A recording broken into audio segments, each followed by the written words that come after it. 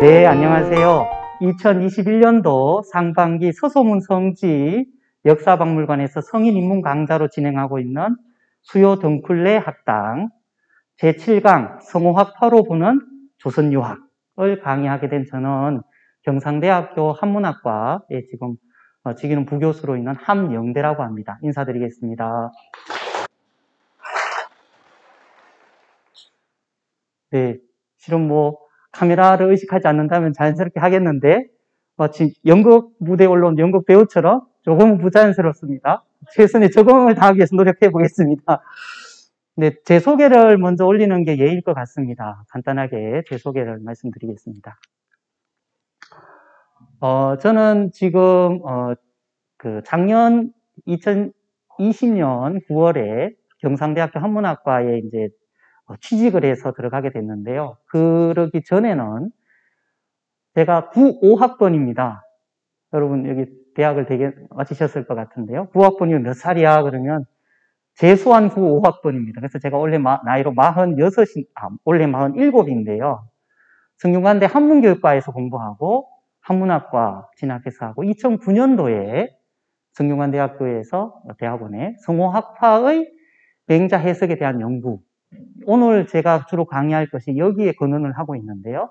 그래서 하기를 했고 여기 지금 칸이 작아서 2014년도 서울대 교장학 한국학연구원이 바로 적혀 있는데 그 사이에는 퇴계학연구원에서 퇴계집 정본 만드는 작업을 조금 했고 그 다음에 당국대 동양학연구원에서 어, 동아시아 인물교류 사전 만드는 작업을 했고 그 다음에는 고려대 한자문연구소에서 어, 제 개인 연구를 수행을 했고 그 다음에 서울대로 갔었습니다. 그래서 서울대로 가고 나면 이제는 해외로 나가야 되나 하고 있던 찰나에 저희 성균관대 지도 교수님께서 다시 들어와야 되겠다고 해서 대동문화연구원에 들어가서 3년 하고 그게 삭술연구 교수 하다가 예, 경상대로 갔습니다.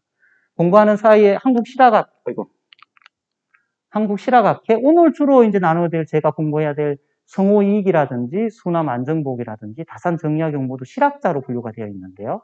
그런 공부와 관련해서 제가 이런 한국 실화학회 또는 저희 지도 교수님이 회장하실 때 했던 한국 보존 번역학회 그 다음에 제가 지금 출판해서 한국 경학지를 만들고 있는 한국 경학학회에서 총무이사를 비롯해서 학회 활동을 했었습니다. 그리고 그런 공부하는 와중에 제가 학, 학위를 받은 것을 바탕으로 성호학파의 맹자학이라는 책을 다음 장에 있는데요. 2011년도 태학사에서 내서 이 책은 여기에 보면은 어, 대한민국 학술은 우수도서가 되었습니다. 그래서 제가 공부한 것이 제가 필요하다고 생각해서 한 것이지만 그런 또 이런 그 학술적인 내용을 평가해 주는 입장에서 의미가 있다라고 인정해 준 것에 대해서 제가 되게 고맙게 생각을 하고 있습니다. 그 다음에 2000년 맹자를 읽다 중국 맹작서 이건 제 책이 아니고 대만에 있는 황중걸 선생님이라고 하는 분의 그 중, 맹학 사상사론 2라고 하는 책의 번역서인데 아직 우리나라에는 언젠가는 우리나라 학자에 의해서 쓰여져야 되겠지만은 여전히 중국 학과 관련해서 이런 사적인 맥락을 전체를 조망할 수 있는 것이 많지는 않은데 특히 제가 공부하는 이 맹자학 관련해서는 그 책이 많지 않아서 이 책이 의미가 있다고 생각해서 번역을 했습니다. 이 책은 성균관대 출판부에서 지금 현재 절판이 돼 있어서 제가 열심히 해서 복간을 하려고 하고 있습니다. 반계유고라고 하는 책은 반계유영원 선생의 어떤 반계유영원은 반계수록 이외의 책이 현재 전하지 않습니다. 지리지 외에는 전하지 않아서 그 외에 최근에 발굴된 여러 그 시집이라든지 다양한 자료들에서 취집을 해가지고 저희 가르쳐 주셨던 이명택 선생님과 강독반들이 모여서 그걸 문집 형태로 만들고 번역을 해서 냈습니다. 그래서 그 책을 중요한 그 과정상에 공부했던 게 의미 있다고 생각을 해서 적어놨고요.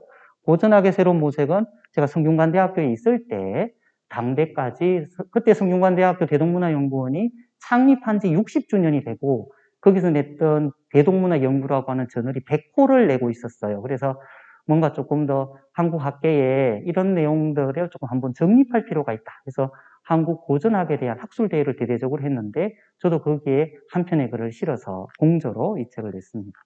그래서 그 성과로 제 학위 논문은 학술청 우수 영상을 받았고 그 냈던 책은 우수 도서가 됐고 나중에 다른 어떤 그걸 해서 우수 논문을 받은 것이 있습니다. 그래서 실은 이런 어, 소소문 성지라고 하는 유수 깊은 곳에 세워진 이런 역사 박물관에서 이런 저보다 다 연배가 결코 적어 보이지 않은 분들 앞에서 강의하는 게 저한테 굉장히 큰 영광이고, 어, 되게 그 정말 영광스럽게 생각을 합니다. 그래서 근데 이제 공부를 하면서 제가 공부했던 것을 이런 어르신 분들께 이렇게 말할 수 있는 기회를 한번 얻었다는 것은 전 참 스스로 다행이라고 생각합니다. 약간 공부하는 보람을 느낀다고나 할까요? 그런 점이 있습니다. 제가 이제 아까 설명을 했는데요. 제가 2009년도에 냈던 성호, 성호, 성호학파의 맹자 해석에 대한 연구를 조금 정리하면서 성호학파의 맹자학이라는 제목으로 이 태학 학술총서 31번으로 냈습니다. 제가 이 표지 디자인은 제발 잡다한 그림을 넣지 말고 그냥 간단하게 하자고 해서 디자이너를 졸라가지고 했는데 지금 봐도 학술서로서 너무 딱딱하지 않고 그래서 아 그래서 조금 더 관심을 가지고 한 게 다행스럽다 생각했는데요. 오늘 강의해야 될 주제하고 연관이 있기 때문에 제가 잠깐 소개를 하면은 이 성호학파의 맹자 주로 이제 성호학파라고 하는 이 학파의 학자들은 굉장히 많습니다. 성호가 뛰어난 학자였고 그 성호의 어, 식대 가족, 뭐 택리셨던 이중환을 비롯해서 뛰어난 학자들이 많았는데요. 저는 이 중에서 맹자학에 중요한 어떤 저작을 남겼던 성호 이익, 수남 안정복, 다산 정약용, 다 우리 학술사에 아주 뛰어난 학자들이죠. 이 세 분만 좀 집중적으로 다루었는데요.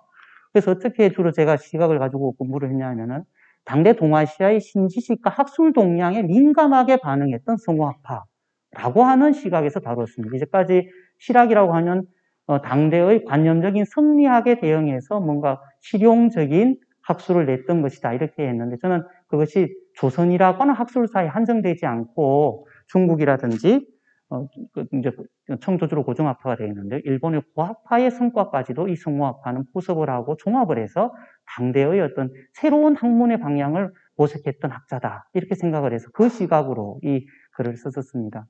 그래서 성모학파는 주로 여러분도 지금 맹자다 맹자라는 책을 어떻게 이해하느냐 여쭤보면 윤리교과서에 대개 그 성선론의 중요한 포인트 그래서 순자와 대응되는 사람이라고 이제 적혀 있고 그렇기 때문에 맹자는 주로 어, 성선론의 주창자 그래서 맹자의 직업은 철학자 이렇게 비정되는 것이 일반적인 인식입니다. 그러면 제가 여쭤보겠습니다. 공자의 직업은 무엇인가? 공자의 직업이 뭘까요? 예, 공자의 직업을 뭐냐고 그러면 되게 백세의 사두가 아니냐. 그래서 교육자지. 그럼 맹자의 직업은 뭐냐? 맹자는 성선설의 주장자가 철학자지. 자, 우리가 누군가의 직업을 얘기하고자 할 때 무엇떤 기준으로 그 사람의 직업을 말해줘야 하는가? 가장 오랜 시간, 가장 많은 시간에 공을 들여서 주장했던 것을 그 사람의 직업이라고 해주는 게 그 사람에 대한 온전한 평가가 아닌가 이렇게 생각하는데요. 그럼 공자가 자신의 일생, 혼자 거의 70 넘게까지 살았습니다. 오랜 시간 공을 들이고 하고자 했던 일이 무엇이었을까요? 여쭤봐도 되나요? 교육 사업이었나요? 교육 사업도 했습니다. 하지만 공자가 가장 많은 시간을 들인 것은 정치였습니다. 인의 정치를 구현한 정치. 그래서 55세 때 지금으로 치면 법무부 장관에 비경되는 대사고도 내팽개치고 천하에 자신이 생각하는 인의 정치를 실현하는 그런 정치적 아이디어를 받아줄 군주를 찾아다녔습니다. 55세 때. 지금은 지금 우리로 치면 명예 퇴직할 나이쯤에 노나라를 벗어나서 천하를 주위에서 돌아가는 게 68세 부세예요. 공자의 직업이 뭐냐? 당연히 말합니다. 정치가라고. 하지만 정치가로서 성공하지는 못했습니다. 그가 초기에 꾸준히 했고 만년에 집중했던 교육 사업이 요즘 말로 대박을 쳐가지고 공자는 우리는 백세의 서성이고 교육자로 우리가 알고 있지만 평생에 공자가 하고 싶었던 것은 정치였습니다. 그러니까 우리는 공자를 정치가로 인정해 주는 게 가장 좋다. 그럼 다시 맹자는 그럼 어떤가? 맹자라는 책을 열면 양해왕부터 시작했는데 양해왕에서 하는 성선설의 얘기는 아주 뒤쪽에 있습니다. 핵심적인 얘기는 진신고자장에 있고 일부가 공손추 두 번째 장점에 있는데 하지만 양해왕의 제 부분을 정상하는 대부분은 다 정치론입니다. 왕정을 해야 된다. 왕도 정치, 참아하지 못하는 마음으로 참아하지 못하는 정치, 불인인지심으로 불인인지 정을 해야 된다. 왜 그런 어떤 군인 인질심, 참아하지, 남에게 참아하지 못하는 마음으로 그런 정치를 해야 된다고 주장했느냐? 맹자가 궁극적으로 하고 싶었던 것은 당대의 요동치는 중국 전체의 통일입니다. 정우일. 통일되는 데에서 안정되기 때문입니다. 그래서 자신은 자신의 아이디어, 지금 천하가 다 사람 주기를 좋아하는 전쟁광들로 꽉 차 있으니까 그런 전쟁광들이 아니라 참아하지 못하는 그 마음을 미루 백성을 제대로 생업을 보장하고 교육을 하고 그러한 사람 그렇게 어진 정치를 하면 백성들이 마른 가뭄에 비를 내리는 비, 비를 맞이하는 것처럼 다 좋아할 것이니 그런 군주가 있기만 하면 적이웃 나라의 그 강대한 국민들도 다 환영하고 맞을 것이다. 이런 정치적 아이디어를 가지고 내가 주장하는 이런 걸 하면 통일을 할 수 있다라고 주장했던 것입니다. 그러니까 맹자의 기본적인 정치 전략은 통일을 위한 정치 전략이었던 것이고 그것이 선한 마음을 바탕으로 해야 된다는 그런 아이디어. 그러니까 정치적인 자신의 이상을 실현하기 위해서 사람의 마음에는 선량한 구석이 있고 그것을 이끌어서 정치를 해야 된다는 주장을 했던 것이죠. 전 맹자는 당연히 정치가라고 저는 생각을 합니다. 그런데 왜 맹자는 정치가로 이해되지 않고 그런 성선론의 주장을 했고 마음향의 그런 소위 경전이 되었느냐? 이거는 우리가 주자학, 송대 학문에 의해서 약간은 왜곡 조정된 것을 그대로 조선에 접수했고 조선의 주자학이 그러한 맹자에 대한 이해 시각을 굳혔기 때문인데요.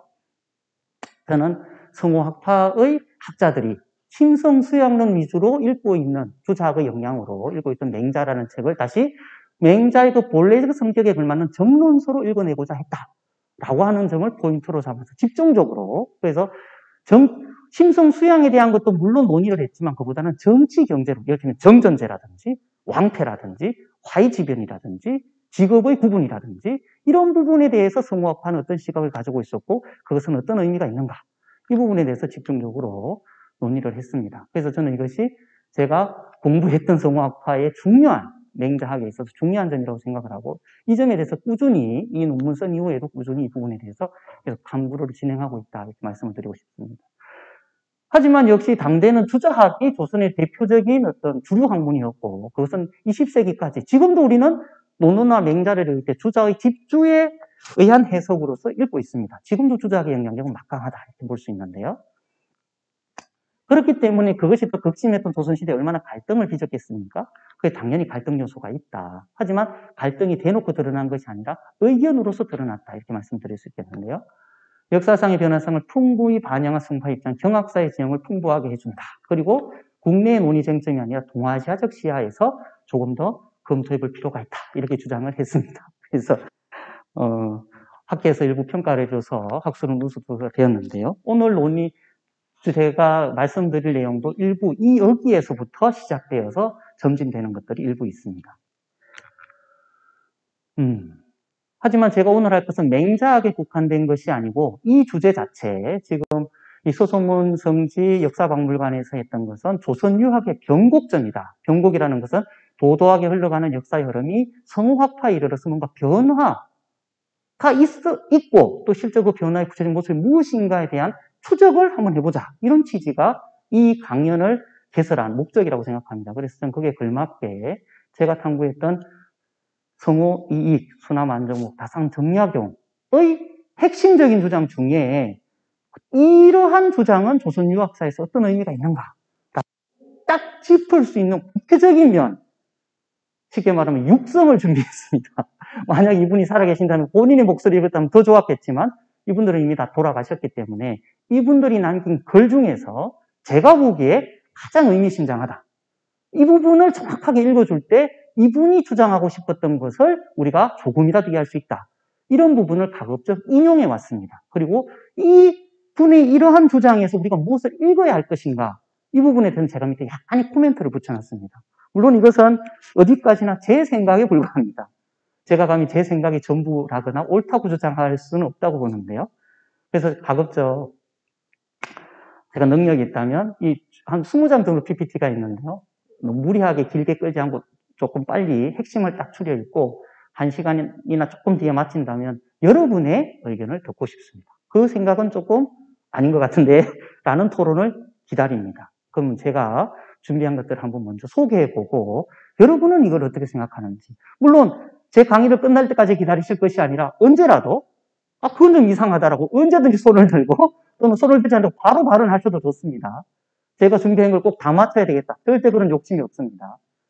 요 하나라도 아 그런 아이디어 자체는 지금 입장에서 어, 어떤 의미가 있는가에 대해서 토론이 이루어진다면 저는 오늘 충분히 괜찮은 강의를 했다고 저 스스로 자부할 수 있을 것 같습니다. 첫 번째인데요. 성우 이익의 역사 인식을 살펴보는 거는 많은데 그 중에서 제가 가장 제가 지금 각각 요걸 아주 중요한 것몇 개밖에 안 가져왔거든요. 그러니까 제가 고른 거는 정수 중에 정수라고 저는 자부하는데요. 성우 사설 원래는 성우 사설이 아닙니다. 이런 책들 반개 수록 성우 사설 이런 건 다 처음에 본인이 쓸 때는 사설이라고 쓴 겁니다. 자잘한 글이라는 뜻입니다. 겸사죠. 근데 성우의 글이기 때문에 나중에 요 성우를 붙이는 겁니다. 반개 수록도 처음에 반개 선생이 책을 쓸 때는 수록이라는 제목을 붙였지 반개 수록이라고 붙인 게 아닙니다. 후대 그것을 편집 발간할 때 후대 사람이 그것을 아 이거는 반개 선생의 수록이니까 반개 수록이라고 붙이는 것 같습니다. 아이고 자, 복, 사료 성패 사료에서 성패, 성공과 패퇴한 것을 읽는다 이런 뜻입니다. 즉 역사서에서 어떤 것이 성공이고 어떤 것이 패퇴한 것인지 내가 읽겠다라는 뜻입니다. 이 글이 상당히 긴 글인데요. 제그 중에서 중요한 것들만 딱 땄습니다. 자, 한번 읽어보겠습니다. 천하의 일이 10의 8, 9쯤은 천행으로 이루어지는 것이다. 이 첫 번째 주장부터 파격적입니다. 쉽게 말하면 우연에 의한 역사가 전개된다. 이런 주장입니다. 합리주의적 사관. 그리고 기본적으로 유학에 의한 역사 인식이라고 하는 것은 철저하게 을입니다. 그리고 시비고 시비 선악에 대해서 명쾌하게 밝히고 그것에 따라서 역사 사실을 기술하는 것이 일반적인 전통적인 전례의 유교 사관에 격한 역사 소설의 방식이에요. 그렇기 때문에 공자의 춘추 서술은 필법이 있다. 그래서 옳고 그런 거에 대해서 그 춘추를 썼던 미세한 사이에 한 글자 한 글자를 넣을 때마다 평가를 했다. 그게 춘추 필법, 춘추 미, 대의 아닙니까? 그래서 하나의 사실에도 그 의미가 무엇인가가 있어야 하고 그것을 밝히는 것이 역사학이라고 하는 게 일반적인 그리고 철저하게 역사 사실에 있어서 옳고 그름을 따짐으로써 서술하는 것이 전통적인 역사 서술의 기본 시각인데요. 성우의 첫 번째 구절부터 도발적이잖아요. 계속 따라 읽어보겠습니다. 사서에 나타난 바로 보면 복음을 막론하고 성패와 이둔, 그 시기의 우연에 따라 많이 나타나게 되고 심지어 선악과 현불초 똑똑하고 어리석은 것의 구별까지도 꼭 그 실상을 터득할 수 없다. 내가 보니까 역사가 굉장히 명쾌하고 시비선악은 분명한 것 같지만 당신이 본 바로는 그렇지 않다는 겁니다. 이 사설하는 것은 모두 왜 그런가? 성호의 분석이에요. 이 사설하는 것은 모두 성패가 이미 결정된 뒤에 지은 까들게 그 성패에 따라 곱게 꾸미기도 하고 아주 더럽게도 만들어서 그것이 당연한 것처럼 여겼다. 여러분, 지금 현재 발간되는 우리 현재의 많은 신문의 언론들이 후대 언젠가는 역사의 사료가 될 것인데요. 지금 신문에서 말하고 있는 서로 다른 견해를 가진 여러 언론들이 반드시 역사적 진실을 말하고 있나요? 네, 그렇지 않다는 걸 여러분 너무나 잘 아실 겁니다. 성우는 알고 있었습니다. 이 역사를, 지금 우리가 보는 역사라고 하는 것은 성패가 결정된 다음에 짓는 거다. 성자의 기록이라는 뜻입니다. 그러니까 당연히 이런 분식이 나타난다는 거예요. 또 선에 대해서는 허물을 숨긴 것이 많고 악에 대해서는 장점을 없애버리는 까닭에 역사 소설 자체가 어리석고 설계놈에 대한 식별과 상고할 점이 있는 듯하다. 그래서 사서에 따라 성패를 진작해 보면 사실것이 그대로 맞는 곳이 많고 사서에 따라 보면 그게 다 맞는 것 같아. 그런데 그걸 다시 사서를 가만히 내려놓고 지금의 입장에서 그 사서가 실제로 그랬을까를 참고해 보면 오늘날 목격한 것에 따라 생각하면 10의 8, 9중 이치에 맞지 않는다. 역사 소설 자체만 보면 그것 자체가 논리적으로 맞는데 근데 실제로 그랬을까 다시 꼼꼼히 생각해 보면 그렇지 않다는 거예요. 너무 날카롭지 않습니까? 나는 이 때문에 천하의 일은 시대를 잘 만나는 것이 최상이고 행불행은 다음이며 시비는 최하로 여긴다. 동네에 전개되어 왔던 역사 서술을 전면적으로 부정하고 완전히 새롭게 인식하고자 하는 것입니다. 우연에는 선악과 현불초도 실상을 제대로 파악하기가 어렵다. 역사적 사실이란 실상의 기록이 아니라 성자의 기록이다. 시비, 선악, 행불행, 형세를 바라보는 시각의 전면적인 전환. 세계 인식에 있어서 옳고 그르다, 선하다, 악하다라고 하는 종래 내려왔던 관념성을 일거에 격파하고 냉정하게 역사 사실마저도 새롭게 보자. 이런 시각을 가지고 있는 분이라면 역사를 어떻게 보겠습니까? 이제까지 나와 있는 많은 책들을 종합 판단하여 방정하려 될 것이고 그것마저도 현재 어차피 쓰여진 역사설은 다 일부의 편견이 있는 거니까 다시 지금의 시각에서 그것이 이치적으로 그러한 것까지 따진다는 것입니다. 일반적인 문헌 합리주의까지도 넘어서는 굉장히 비판적이고 날카로운 시각이 아닌가. 이러한 시각을 가지고 역사를 바라보았기 때문에 종래에 일반적으로 흘러갔던 역사의식과는 전혀 다른 길로 접어들 수 있었다. 이런 분이 성호예요. 성호 사설은 그런 점에서 한편 한편이 한 작은 한, 한 조각 글들도 논문입니다. 그게 아주 짧은 형태로 되어 있지만. 그래서 성호 사설은 여러분 겨를이 된다면 축약본도 있고 전본도 있는데 한번 읽어보시기 바랍니다. 진심으로 마음을 두드리는 게 꽤 많습니다. 그 중에 또 하나 한 가지. 자, 경서를 연구한다는 것. 이 경학 연구는 지금이야 뭐 철학 연구나 문학 연구의 부용으로 떨어졌지만 전통시대는 이거를 가지고 경학으로 여러분 전통적인 동양의 지식적인 경사자재입니다. 경학, 사학, 다양한 자학의 그다음에 문집, 문학입니다. 경학으로부터 모든 학문이 시작되고 분류도 그래서 그렇게 했습니다. 그런데 그 가장 근본이 되고 하는 경서를 연구한 이 경학입니다. 목적이 뭐냐? 세상에 쓰이기 위해서이다. 지금 인문학, 이거 인문학인데요. 인문학을 왜 하느냐? 세상에 쓰이기 위해서입니다. 성우의 논법을 그대로 빌리는 만약에 세상에 쓰이지 못한다면 무용하다는 거예요.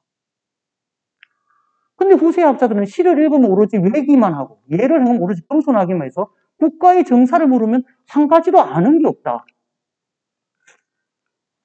경학을 아는 성비라고 불렀는데 겨우 아는 게그 내용에 대한 사실에 대한 앞뒤 관계를 해석하는 데 거치고 그럼 그걸 어떻게 쓸 건데? 그런 네가 아는 지식을 가지고 이를 어떻게 해결할 건데 라고 물으면 한마디도 못 나간다는 거예요. 성우의 이런 생각은 철저하게 다산에 이르러서 확, 확연하게 이제 발전하게 됐는데요. 이분 말이 너무나 지당하기 때문에 저는 이걸 이 정서를 연구하는 게 만약에 이걸 인문학이라고 바꾸면 그것도 똑같이 적용될 거라고 생각해요.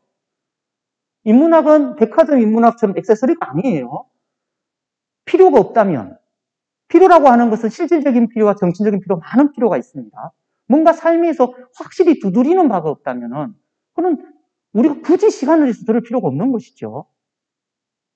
우리가 뭔가를 나 다른 건 다 있는데 그게 좀 부족하니까 좀 엑셀처럼 꾸며봐? 이게 아니라는 겁니다. 정사란 백성을 다스림을 요령, 다스림으로 요령을 삼는 것이고 백성을 다스리는 데는 백성의 실정을 잘 파악하는 것보다 더 나은 것이 없다. 정말 누구 말처럼 다 빨간 줄로 한자 한자마다 빨간 줄을 쳐야 돼요. 이러므로 그럼 시를 왜 공부하는데 시가 아름다워서 그뿐이 아니라는 거예요. 민간의 숨은 실정을 살펴서 모두, 모두는 백성이죠. 안심하고 살 수 있게 한다는 것이다.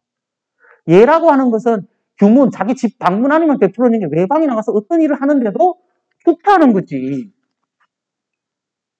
춘추전을 봐봐. 연양을 하면은 그 시를 없는데 그 시를, 아, 그냥 폼으로 읽는 게 아니라 일에 따라 임금의 명을 욕되지 않게 하는 절차임에도 자세히 하였으니 실상에 힘쓴 것이 이와 같다. 근데 요새는 어때? 경술과 사무가 갈라져가지고 공부는 공부고 일은 일이야. 인문학은 인문학이고 행정학은 행정학이야. 그게 무슨 학술이야? 이런 시각을 가지고 있었다는 거죠. 왜 이렇게 되었을까? 직책이 바뀌고 나면 깜깜해서 모른다는 거예요. 정치의 요체와 학문의 연관성에 대한 명확한 이해가 돋보이는 명문이고 학문과 실용, 경수가 심과 구분되는 것이 아니라 함께 수행되는 것. 이게 이름하 이제 실학적 관점입니다. 우리가 실학적 관점이 무엇이냐라고 하는 질문을 받을 수 있겠습니다. 그러면 여러분 이렇게 말할 수 있겠습니다.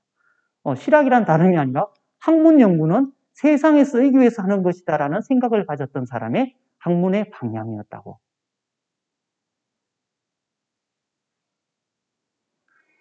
요즘에 분과 학문이라든지 서로 다른 것들을 굳이 통습해야 된다는 통습의 이론까지 나와서 이것과 저것이 서로 하나의 지식으로만 존재하고 구체적인 활용으로 넘어가지 못하니까 그런 지식들을 다 끌어모아 가지고 뭘 해야 된다는 주장이 있지 않습니까? 이미 300년 전에 소모이익은 그런 주장을 하고 있는 것입니다. 제가 지금 제 주장을 하는 게 아니라 성호 선생의 말을 저는 부연하고 있을 뿐입니다.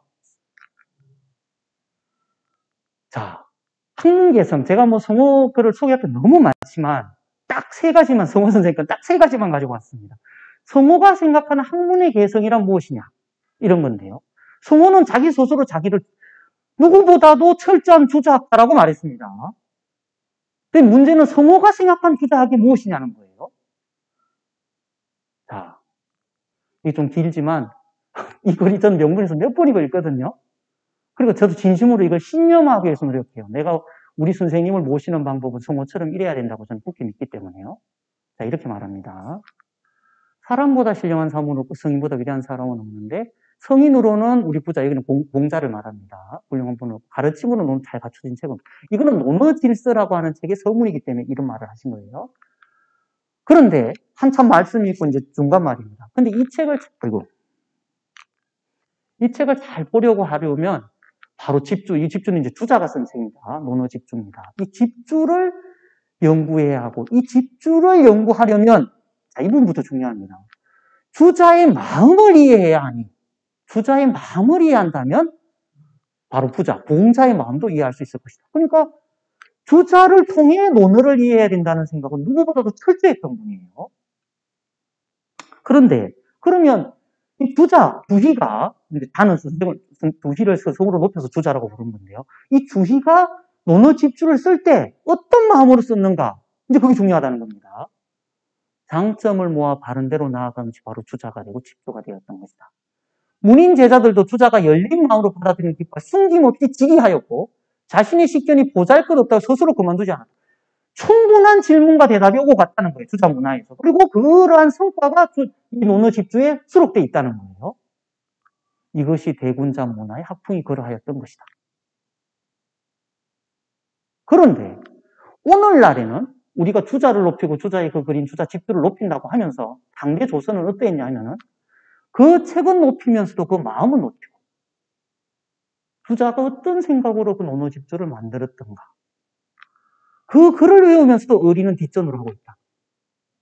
그리하여 생각하면 망령된 짓이라고. 의심하면 참남된 짓이라 하고.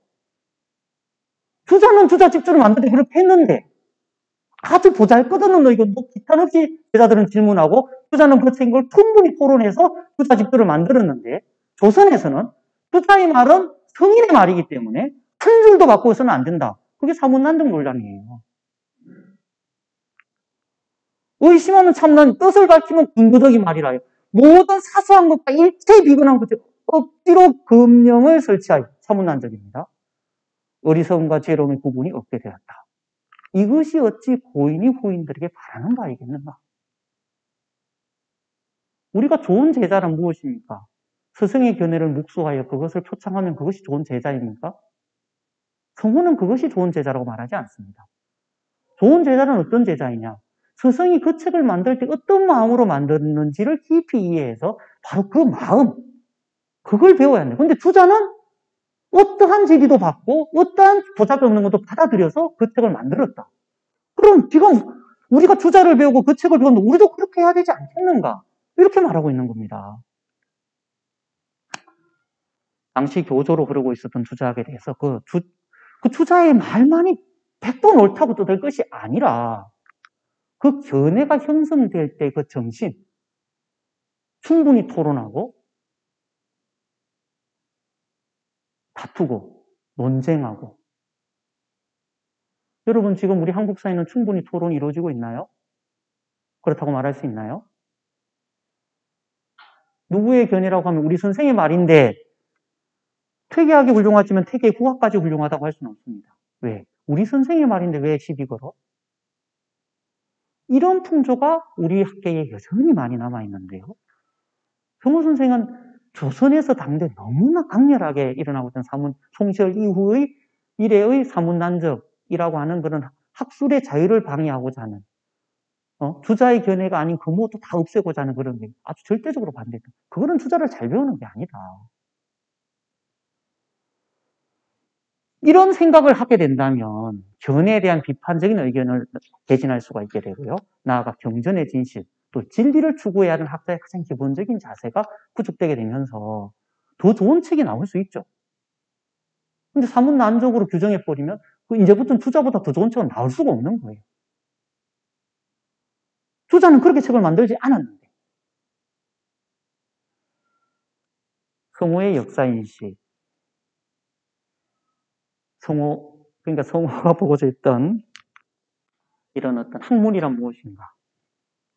또 어떤 것이 스승을 잘 배우는 것인가에 대한 어떤 성호의 어떤 열린 생각. 그렇기 때문에 성호 문화에서는 소남 윤동교라든지 정산 이병우라든지 그다음에 어, 그 수남 안정복이라든지 서로 다른 특히 이제 사단 칠정과 관련된 견해가 끝까지 17년 동안 다투, 다툽니다. 성호 생전에 끝까지 합일되지 못해요. 하지만 합일되지 못하는 걸 그대로 둡니다. 만약에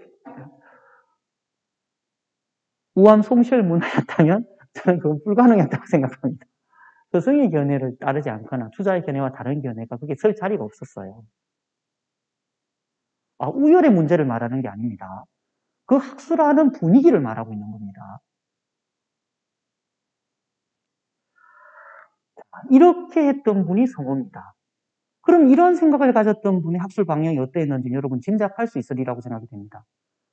그런 생각이 성호의 경학 연구인 질서에, 그의 수상록인 사설에, 그리고 그의 다양한 성호 문집에 남아 있습니다.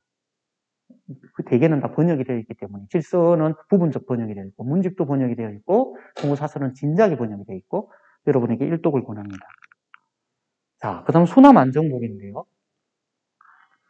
지금 5쪽 하고 있는데 30분을 썼습니다. 제가 속도를 내야 될 것 같은데 이제 다 읽지 못하고 쟁점만 읽겠습니다. 수남 안정복은 그 동사 강목의 저자로 널리 알려져 있습니다. 그래서 우리는 수남을 역사학자다 이렇게 이제 평가하는 것이 일반적인데, 근데 수남의 학문은 역사학에만 국한되는 것이 아닙니다. 수남은 35살에 성호 이익을 찾아뵙고 공부 제자가 되는데 실제로 만나 뵙는 날은 4일이 채 되지 않아요. 성호는 안산에 계시고 수남은 여기 광주 톡골에 광주 여기 갈마터널 그 톡골에 계셨는데 만난 건 4일. 그래서 그 만났던 기록이 한정목이라는 수남의 문집에 남아 있는데 나머지는 다 서신교환입니다. 서신교환. 그리고 자신의 저술인이 동사강목을 쓸 때는 하나하나 다 스승에게 묻고 질정을 구해서 씁니다. 그래서 그, 그것을 그대로 한 것이 동사문답이라는 것으로 남아 있습니다. 근데 이분의 기본적인 학문의 기본 생각이 뭐냐라고 하는 것은 바로 여기에 남아 있는데요. 하학 진함. 하학이라고는 하학 상가할 때그 하학입니다. 하학. 아래의 학문. 실천학입니다. 관념학이 실천학. 의 진함이라고 하는 것은 어떤 표준, 그 어떤 기준점, 어떤 가양 지향에 될곳 이런 그것이라고 하는 것은 자신의 편집서인데요. 여기에 제 제목을 붙였습니다. 그리고 이제 이렇게 말을 하는데요. 배움이라는 일이 쭉 나고 나서 최종적인 건 빨간 거면 그 중요한 거죠. 배움이란 다만 하학일 뿐이다. 선언합니다. 성인의 은행이 노는 한 책에 갖춰져 있는데 그 말은 하학에 비근한 것으로 알기 쉽고 행하기 쉬운 일이며 차원이 매우 높은 행위 어려운 일이 없다. 그런데 후세 학문을 논하면 반드시 심학이니 이학이니 하는데 침이나 이 두 글자는 형태나 그림자가 없어서 더듬거나 잡을 수 없는 것이 모두 공중에 매달린 말이다. 이걸 하지 말자는 것이 아닙니다. 하지만 이것부터 하게 된다면 착수처가 없게 돼요. 손을 내릴 곳이 없다는 겁니다. 순환의 생각은 궁극적으로는 하학이 상달입니다. 하학을 바탕으로 상달을 해야지. 하지만 허공에 매달린 말들을 쫓아갈 수는 없지 않느냐. 비근한 일상의 것으로부터 학문을 해야 되는 것이다라고 주장을 하는 것이죠. 우세의 학자는 하학을 비천하다 하여 탐탁히 여기지 않고 항상 천인성명, 이기사칠. 이게 조선 사단 칠정 논쟁, 인물성 동의 논쟁 아닙니까? 말에만 얽매이지만 가만히 그 행실을 따지고 보면 일컬을 만한 것이 없으면서도 상다를 모르는 것만을 부끄럽게 여긴다.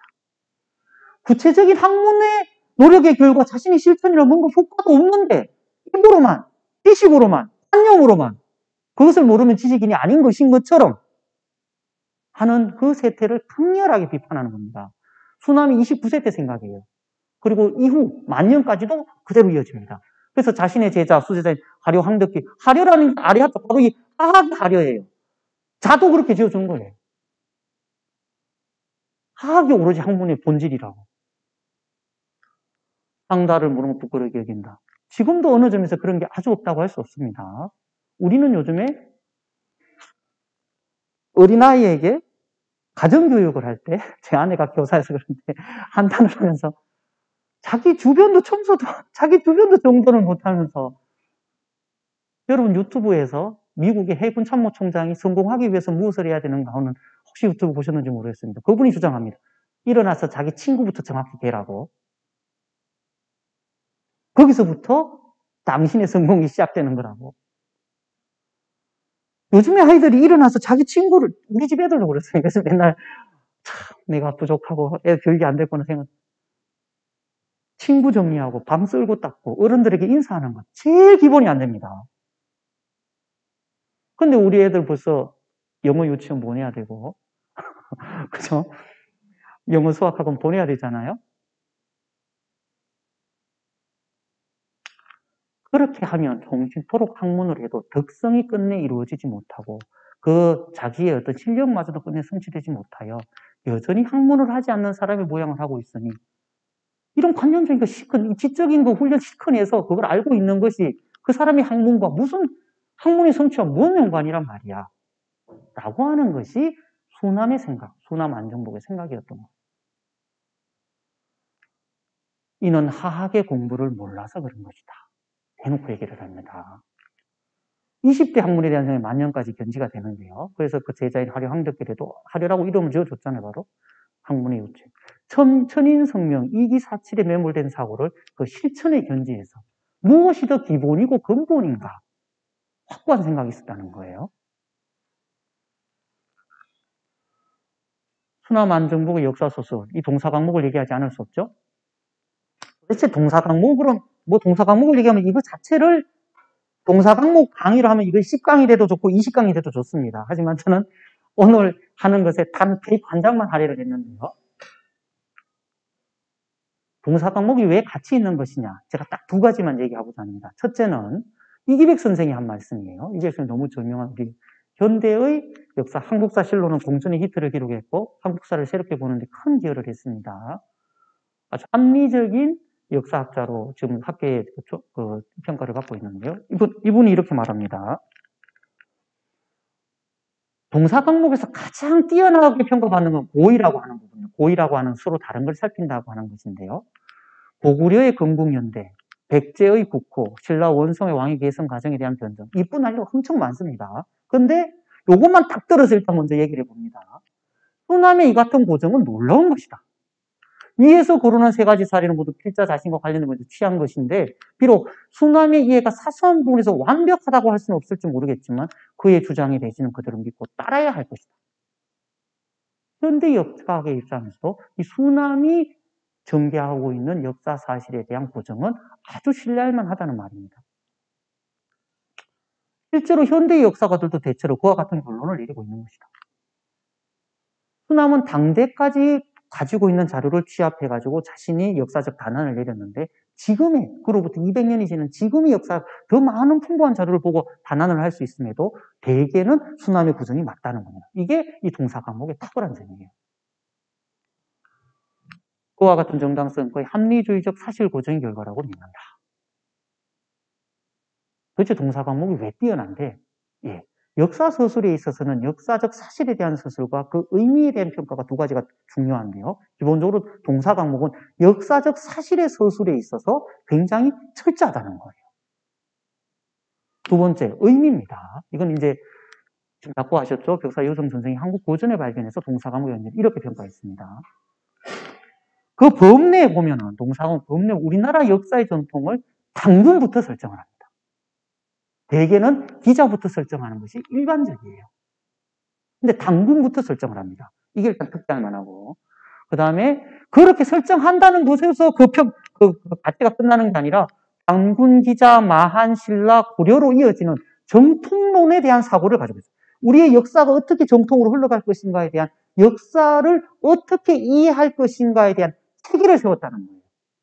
그리고 이런 정통론을 세운다고 하는 것은 우리가 중국의 부용이 아니라 우리 독자적인 정통성을 가지고 있다는 것을 남은 인식하고 있었다는 거예요. 동사 강목은 고려 시대까지밖에 서술이 없습니다.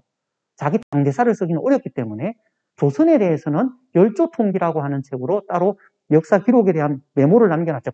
거대한 메모인데요. 역사 서술 자체는 고려 시대까지만 서술하고 있죠. 그래서 이것은 중국 중심적인 역사관에 대립하여 우리나라 역사의 독자성을 살리려는 것일 뿐 아니라 정통론에 의한 역사 발전주의에 개통하는 우리 역사로 하여금 역사에 대한 체계적인 파악이 가능하도록 길을 열어주었다. 이 두 가지가 동사 강목이 획득한 역사서로서의 탁월한 성취가 아닌가 이렇게 얘기할 수 있습니다. 물론 동사 강목은 말 그대로 강목체로 되어 있습니다. 강목이라고 하는 건 역사소설의 방식인데 역사소설은 거대한 사실을 썼던 강과 그거에 대한 부용 사실이 목으로 구성된다는 것이 동사 강목입니다. 사마강이 자칫 통감을 썼는데 자칫 통감을 쓴 사실 자체는 뛰어났는데 주희가 그걸 보고 이거는 사실에 대해서는 의심을 해지가 없지만 역사의 시비나 의미 부분에서 불명확한 점이 있다. 그래서 다시 그 역사 사실을 큰 사실인 강과 그거에 대한 부용 사실 목으로 구분합니다. 그러면 실제로 역사 쓸 때 한쪽은 되게 큰 글씨로 강을 쓰고 그거의 절반이나 3분의 1인 글씨로 목을 쓰게 됩니다. 근데 이런 식으로 강, 목으로 구성을 하게 되면 그 순간 바로 역사를 평가하는 겁니다. 어떤 게 중요한 사실이고 어떤 게 부분적인 사실인가. 바로 역사 평가가 들어가요. 그래서 기본적으로 강목체는 강력한 의리지향적인 역사 서술을 할 수밖에 없게 됩니다. 그 서술의 방식 자체상. 그래서 동사 관목 역시 이 필법에 대한 강조점이 있어요. 그래서 동사 강목은 어떤 점에서는 상당히 보수적인 경향이 노출되어 있다. 고도할 수 있습니다. 그러함에도 불구하고 이 두 가지 사실, 역사 사실 자체에 대한 철저한 어떤 변동과 이런 대통화로 인한 어떤 어, 독자성 그리고 체계성의 획득 이 두 부분은 상대적으로 이전에 조선에 있었던 역사, 서술, 역사학들이 성취하지 못한 것을 가장 많이 성취했습니다. 그래서 지금 현재 조선사에서 가장 뛰어난 성사수는 뭐냐? 다 바로 이 동사강, 수나무의 동사강목을 첫손 꼽을 수밖에 없는 그것은 이후의 신채호라든지 이후의 학자들에 의해서 그대로 평가받는 것입니다. 재미난 것은 이 동사 강목이 서술되고 나서 이 책은 어, 수남 안정복이 정조의 사부였습니다. 그리고 사부였기 때문에 나중에 목전 형광도 받게 되는데요. 그래서 이 책을 썼다는 걸 알고 있었고 이건 필사가 돼서 정조 왕, 왕궁에 들어갑니다. 들어갔는데 저도 규장각에 있으면서 이 책을 열심히 찾았죠, 당연히. 예. 있습니다. 있지만 지금 이분은 나중에 이제 박정기 교수님이나 몇 분의 연구가 됐는데 이 동사 항목이 실질적으로 연구되는 것은 공교롭게도 이후에 그 받쳐졌던 그래서 19세기 이래 이 동사 강목이 열심히 조선에 의해서 연구됐던 것이 아니라 이후에 조선 말기 또는 일제시대 때 들어서 이 동사 강목은 재평가되면서 이 역사 사실의 고전 부분이 재평가되면서 다시 최대의 역사서가 됩니다. 그러니까 이 동사 강목도 제대로 평가받는데 거의 100년 이상 걸렸습니다.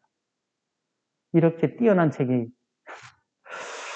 나중에 이 부분은 다시 할 수 있으면 한 번 더 얘기를 해보고 싶습니다. 안 정복에 여기가 지금 서소문 성지니까 만약에 제가 있으면 서학 부분을 더 설명을 하고 싶은데 천학문답이라고 하는 책이 있고 제가 그 개신교예요. 제 지, 그 지, 종교 기독교 중에 개신교인데, 저 성결교 교인인데, 지금 조금 날라리 신자지만, 저는 기본적으로 신앙이 있습니다. 그렇기 때문에 이 천황 문답을 보면서 약간의 신앙인의 견지에서 그것을 굉장히 날카롭게 봤어요. 그러니까 여러분 나중에 이것도 번역이 되어 있기 때문에 읽어보실 수 있으면 돼. 천황 문답은 여기 안 들었기 때문에 간단히 설명을 하면은, 천황 문답은 어떻게 평가할 수 있냐 하면은, 유교 지식인이 보는 견지에서 서학이 가진 근본적인 문제가 뭔가에 대한 지적입니다. 핵심은 뭐냐? 자신이 한 행위의 결과가 아니라 복을 비는 행위에 대한 납득 불가능입니다. 아니, 사람이 자신이 한 일을 가지고 평가를 받고 잘못하면 죄를 받고 해야 되는데, 기독교 신앙은 그게 아니지 않습니까? 신의 의향 구원이잖아요. 행위에 대한 것이 아닙니다. 그리고 천당과 지옥이 내세에 있다는 것이 유교 지식인에서는 접수가 안 돼. 그거는 불교하고 뭐가 다른데? 철저하게 당대의 현실을 통해서 그 일을 하고 또 거기서 평가받길 원하는 유교 지식인의 입장에서 그 내세관이라든지 천 관이라든지 이런 것들은 접수가 안 되는 겁니다. 그런 점에서 이, 이 수남의 이런 지적들은 상당히 현실적인 보통 인간의 견지에서 신앙의 견지가 아니라 유학의 견지에서 보면은 상당히 설득력이 있어요. 물론 이상한 말도 없지는 않습니다. 그렇기 때문에 보고 있으면 제가 기독교 신앙을 가지고 있음에도 아, 그건 너무 공격이 날카로워가지고 수긍하지 않기가 어려운 어려운 구석들이 격잔이 있습니다. 일본 교수는 일본에 그 수리학했던 그 교수는 그렇기 때문에 어, 그 천황 문답이 유교 지식인에 의해서 비판됐던 조선의 서학 비판서 중에서는 가장 뛰어난 책이다 이렇게 평가를 합니다. 그 말고 그 다음에 수남은 어 그 광주 특볼에 살면서 이제 일대는 이제 아버님의 어떤 그 감면상 때문에 있었다가 그 뒤로 간직을 하지 않은 그 노물면서 거기에서 어 상당히 그 중요한 그 계를 만든다고 해서 향총 지식인으로서의 임무를 수행을 하는데요. 아, 이런 말을 합니다. 욕까지 하고 좀 쉬겠습니다. 다산 정리하기는 10분 쉬고 해야 될 것 같습니다. 우리 동리는 수십 년 동안에 풍속의 태폐가 심해져서 마치 이건 논어에 나오는 건데 호양사 아주 인심이 안 좋았다는 거예요. 사람들처럼 말도 꺼내기 어려운 곳이 되어버렸다. 가난하고 완악한 향인가 이거 이건 이제 그 서리직들이죠. 나라 일을 핑계대고 제 뜻대로 행행하니 어찌 미는 가난해지지 않으며 섭속은 박해지지 않겠는가. 그런데 그같이 밖으로부터 오는 치매는 어쩔 수가 없다. 하지만 그래도 미리 해야 될 건 해야 되지 않느냐. 이제 이런 말이고. 두 번째, 대체로 법을 만들어 사람을 이끌기 위해서는 먼저 민심에 순응해야 되는데 민심이 불순해지는 것은 항상 유해한 정령으로도 말미암는다. 민심이 왜 각박해져? 백성들이 민도가 낮고 어리석어서 아니라는 거예요. 기본적인 국가 정책의 실수, 실행하는 행정 관료의 실수 때문에 그렇다는 거예요. 냉정하게 그걸 지적합니다. 그러니까 민심이 귀할 때가 있어야 교화가 행해질 수 있는 것이지. 맹자가 왕정을 논하면서 민의 산업을 제도 이게 바로 항산입니다. 일정한 산업이 있어야 그 일정한 산업의 길에 일정한 마음, 항신, 도덕심이 있을 수 있다는 게 맹자의 아이디어거든요. 최소 생활이 보존이 되어야 도덕적인 생활을 하겠다. 지금 우리 사회도 그게 다 됐다고 할 수 없죠? 최소 삶을 못 사는 비정규직 얼마나 많습니까? 비정규직이 이렇게 많은 건 정말 이상한 겁니다. 맹자가 왕정을 교육이 선행되는 것 때문이다 얘기를 했고요. 자, 민간의 사계를 설립하는 일도 역시 협력을 미루 시행하는 단계가 된다. 그런데 근래에는 관계에서 반드시 전정과 군정이라든지 황국을 독촉하는 일을 여기에다가 자기가 할 일인데 그것을 여기에다가 미룬다는 거예요. 이래서야 되겠느냐. 백성들에게 정치를 시행하는 단계와 효과에 대해서 굉장히 진지하게 사고를 하고 현장에서 그것을 보고 어떻게 고칠 것인지에 대해서 얘기를 하는 겁니다. 민심이 불순해지는 거, 백성들의 잘못이 아니고 법의 문제다. 당대의 구체적 정치 현실에 대해서 굉장히 해서 이게 뭡니까? 그래서 경안면에 자기가 살고 있는 일이 1, 2, 1위의 일입니다. 1위의 동약을 어찌할 것인가? 그러면 내가 살고 있는 우리 동네 사람들이 어떻게 하면 조금은 더 그런 관해에 대한 압정이라든지 또 그런 것들을 이겨나가면서 어떻게 이 살고 있는 우리 마을의 사람들이 최소한의 삶을 영위하면서 할 것인가? 어떤 식으로 동력을 만들어야 될 것인가? 이런 고민을 해서 실제로 이렇게 합니다.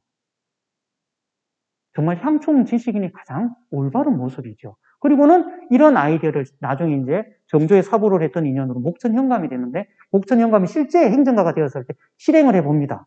실제로. 어떤 어찌 보면은 굉장히 삶에 밀착한 그리고 철저한 그런 어떤 그 학문으로서의 대응 방식이라고나 할까요? 그러니까 덜떠 있는 게 하나도 없습니다. 저는 이런 점들이 이분들이 가지던 학문의 어떤 성격이라든지 내용에 있어서 굉장히 의미심장한 것이 아닌가 생각을 하죠. 다산 정약용 우로는 뭐 한 강자가 아니라 다산의 책들만 해도 그 책구로도 목민심서 같은 거는 그 책으로 열강을 할 수 있습니다. 근데 이제 그렇게 할 형편이 아니기 때문에 세 번째 이제 성호학과학자 세 번째 제가 이제 성호 이익순환 안정보를 여섯 장으로 다루었습니다. 뒤에부터는 다 다산 정약용인데요. 어, 다산 정약용의 학문 뭐 너무너무 할 게 많지만 제가 여기 오신 분들은 지금 조선 유학의 변곡점이라고는 어마어마하게 거대하고 중요한 이슈를 다루고 있기 때문에 가장 골자가 되는 것을 이해할 필요가 있고 아까 말씀을 드렸는데 만약에 재미가 있으면 그거를 다시 크게 확장해 가지고 다시 강의를 청해 듣는 것이 좋지 않을까 이렇게 생각을 하는데요. 그래서 제가 이 다산 정약용을 할 때는 다산이 생각했던 당대 학술의 폐단이 뭐다 그리고 그게 왜 폐단이다라고 지적한 것과 다산은 어떤 식으로 자신의 학문을 구축했는가 그리고 다산이 했던 3대 저술, 경세유표, 모민심서, 흠흠신서는 왜 그 책을 만들었는가? 까지만 하고 강의는 종료합니다. 그리고는 이제 여러분 말씀을 듣고 싶고 성화파의 견해가 왜 중요한가를 간단하게 설명하는 것으로 마칠까 하는데요. 오학론이라고 다섯 개의 학문에 대한 주장입니다. 오학론인데 여기에서 다사는 다섯 당대에 유행하고 있던 다섯 개의 학문에 대해서 아주 냉정하게 비판합니다. 첫 번째 비판의 대상이 당대 조선 학술의 주류 성리학입니다. 왜 어떤 식으로 비판하는가 들어보면 이렇습니다. 야, 서울에서 나라는 사람도 성리학을 한다 그러면 산에 들어가서 산림청사를 해. 그런데 성리학의 최초의 핵심적인 주장자 주자는 말이야. 주군의 장관이 되어서는 규범을 세웠지. 부역을 공평하게 했지, 역병을 구제했어. 그리고 출처가 분명히 조정에서 부르면 나아가고 파면은 응부했어. 이렇게 살림 처산처럼 무조건 살림에 가지 않았다는 말입니다. 당신들이 주자학을 제대로 배운 성리학자라고 할 수 있어? 이런 말입니다. 주자는 그렇게 하지 않았는데 왜 당신들은 그렇게 하는데? 이해학의 근본적인 의의를 부정한 것이 아니라 성리학의 잘못된 이해에 대해서 전혀 실무에 얻었거나 실용에 도움이 되지 않는 행태를 비판하는 것입니다. 그리고 나아가서 투자학은 그게 아니다. 또 투자는 그렇게 하지 않았다. 라고 설명하는 것이 성리학 비판의 핵심입니다.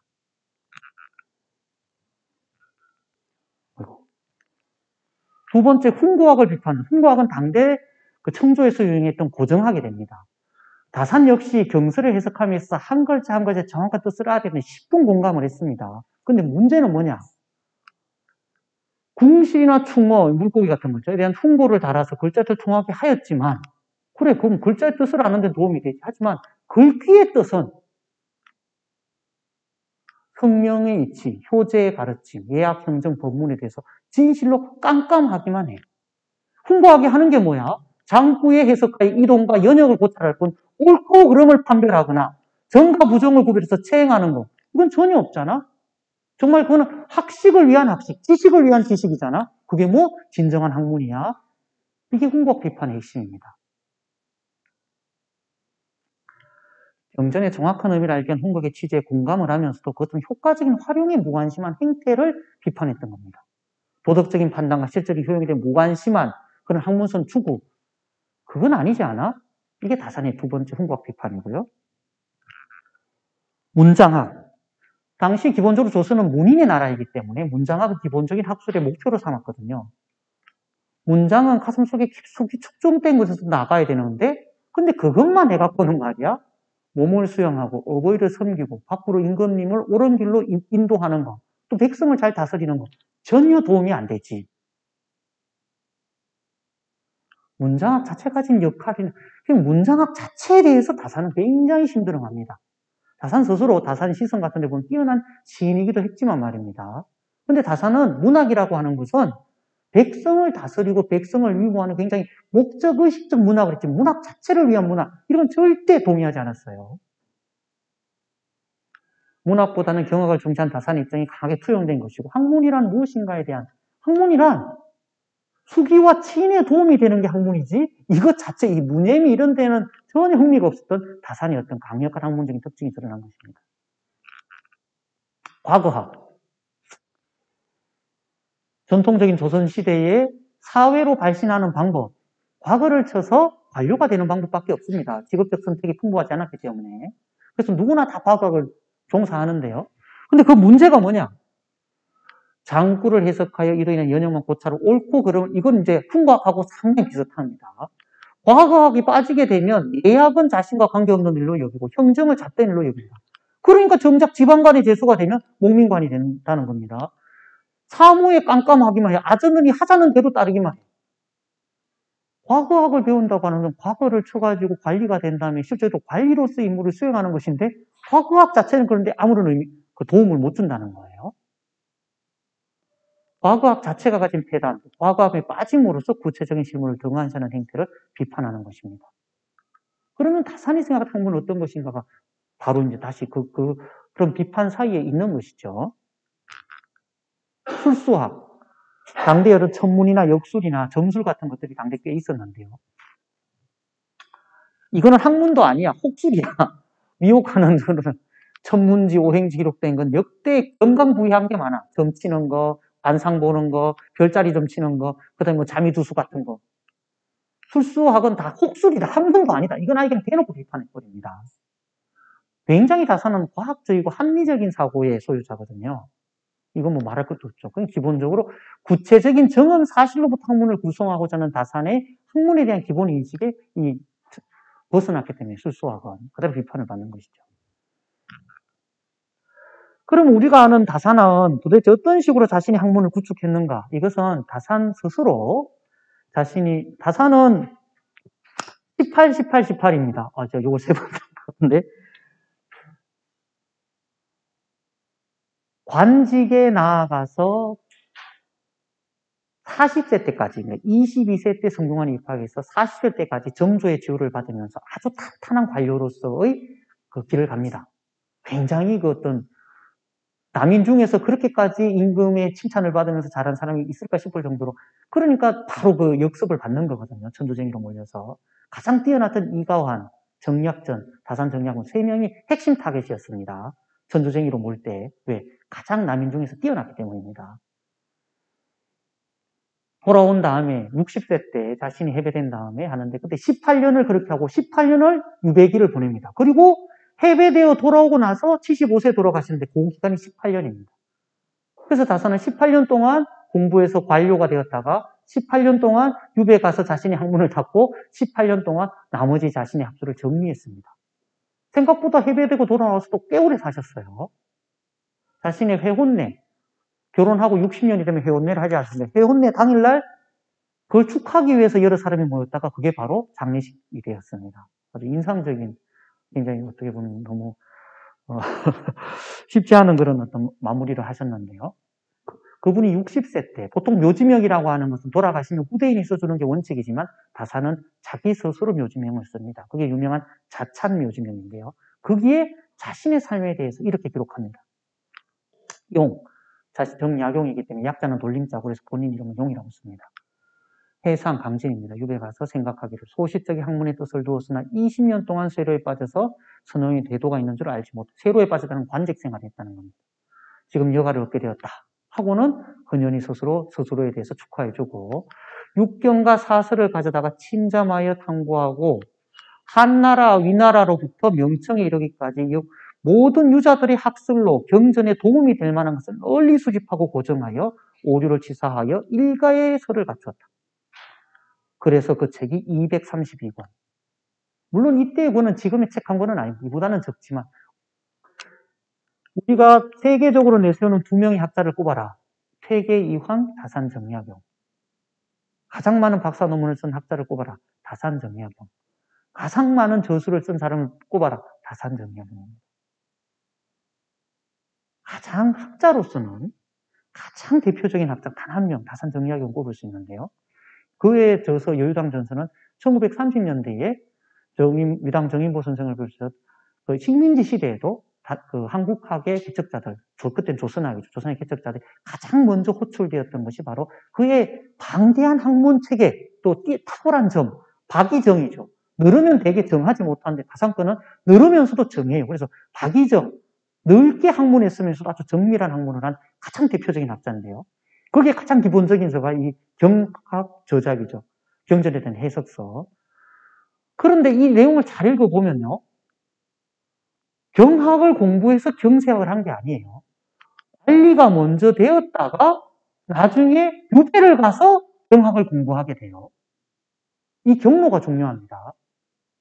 그러니까 쉽게 말하면 중국 무림의 고수자들이 폐간 수련하고 고수가 된 다음에 나가서 실력을 발휘한 게 아니고 관리로서 아주 정조의 총애를 받는 신하로서 국정을 다 경험해보고 다는 아니지. 다산의 경험 내에서는 다 해보고 그런 다음에 천조쟁이로 몰려 유배를 갔습니다. 그러니까 다산의 경학은 경학을 위한 경학이 아니라 경세학을 위한 경학이 될 수밖에 없는 거예요. 그의 삶이 그러했던 겁니다.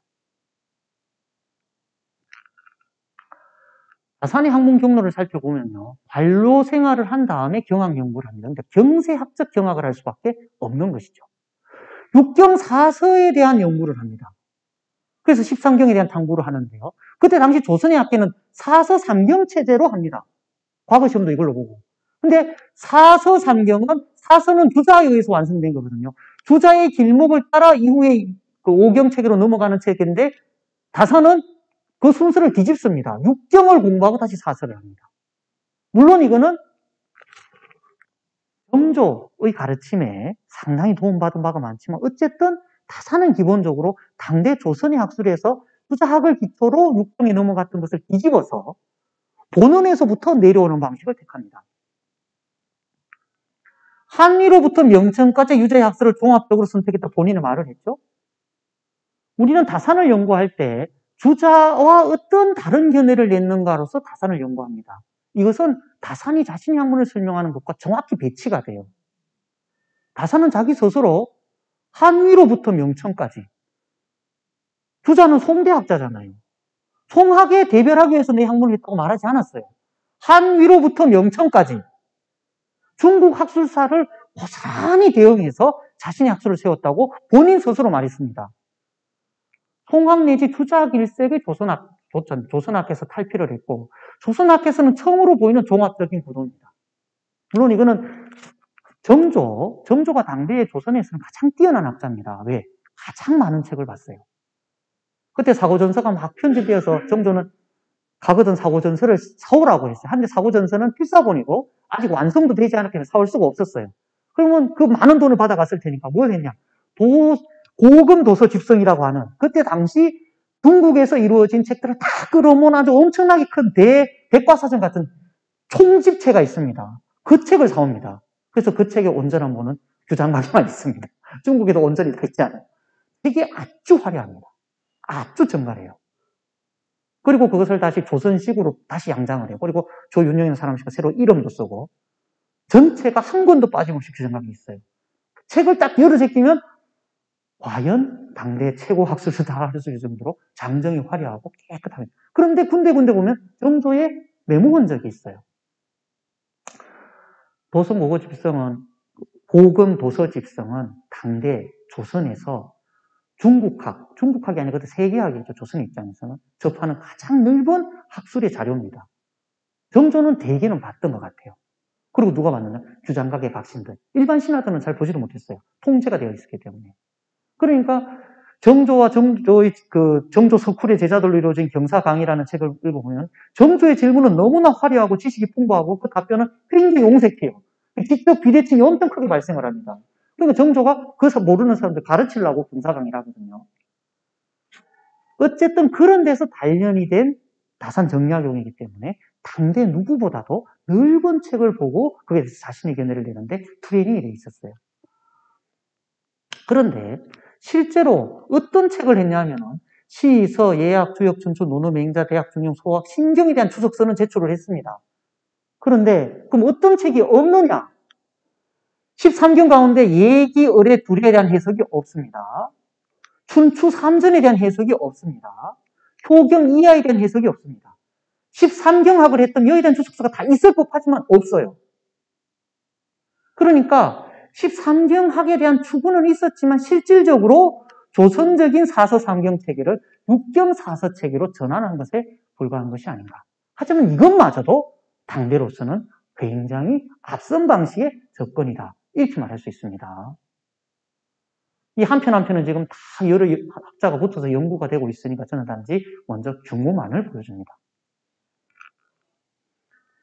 자, 그 다음에 우리가 이제 여기에 대한 학문이 경학이고 요. 이거 다산의 경학은 지금도 활발하게 번역도 되고 연구도 되고 있으니까 이제 각각을 참고할 수 있겠고요. 그의 경세에서로 내온 세 권의, 세 권의 책, 너무 유명합니다. 경세 6표가 48권, 편찬의 일을 마치지 못했고, 61세 상황입니다. 그래서 경세 6표는 끝까지 미완의 책으로 나. 지금 우리에게 전해지는 책은 완성본이 아니에요. 마지막까지 뜯어고쳤지만 여전히 일부는 미완의 책입니다. 목민심서 48권. 똑같죠? 범엄심서 30권. 자, 그럼 이 각각의 세 권의 책은 어떤 기획을 가지고 있느냐? 경세 유표의 경세란 무엇인가? 여러분, 하나하나 이름이 되게 중요한데요. 유표잖아요? 표문은 여러분 출사표 들어보셨죠? 출사표가 뭡니까? 제갈 공명이 유비의 아들인 유선에게 군사를 내면서 올리는 표입니다. 신하가 임금에게 올린 글의 종류가 표예요. 유표입니다. 왜 유표냐? 정조가 돌아가셨잖아요. 경세를 위해서 정조께서 꿈꾸었고 제가 같이 돕고자 했지만 돌아가셨기 때문에 유표를 올린 거예요. 국정개혁의 대청사진입니다. 거기에 경세란 무엇인가? 시용에 구애되지 않고 병을 세우고 길을 베풀어 우리의 오랜 나라를 새롭게 하기로 한 거. 시용에 구애되지 않는다. 이건 뭐예요? 이건 아이디어 기획서라는 거예요.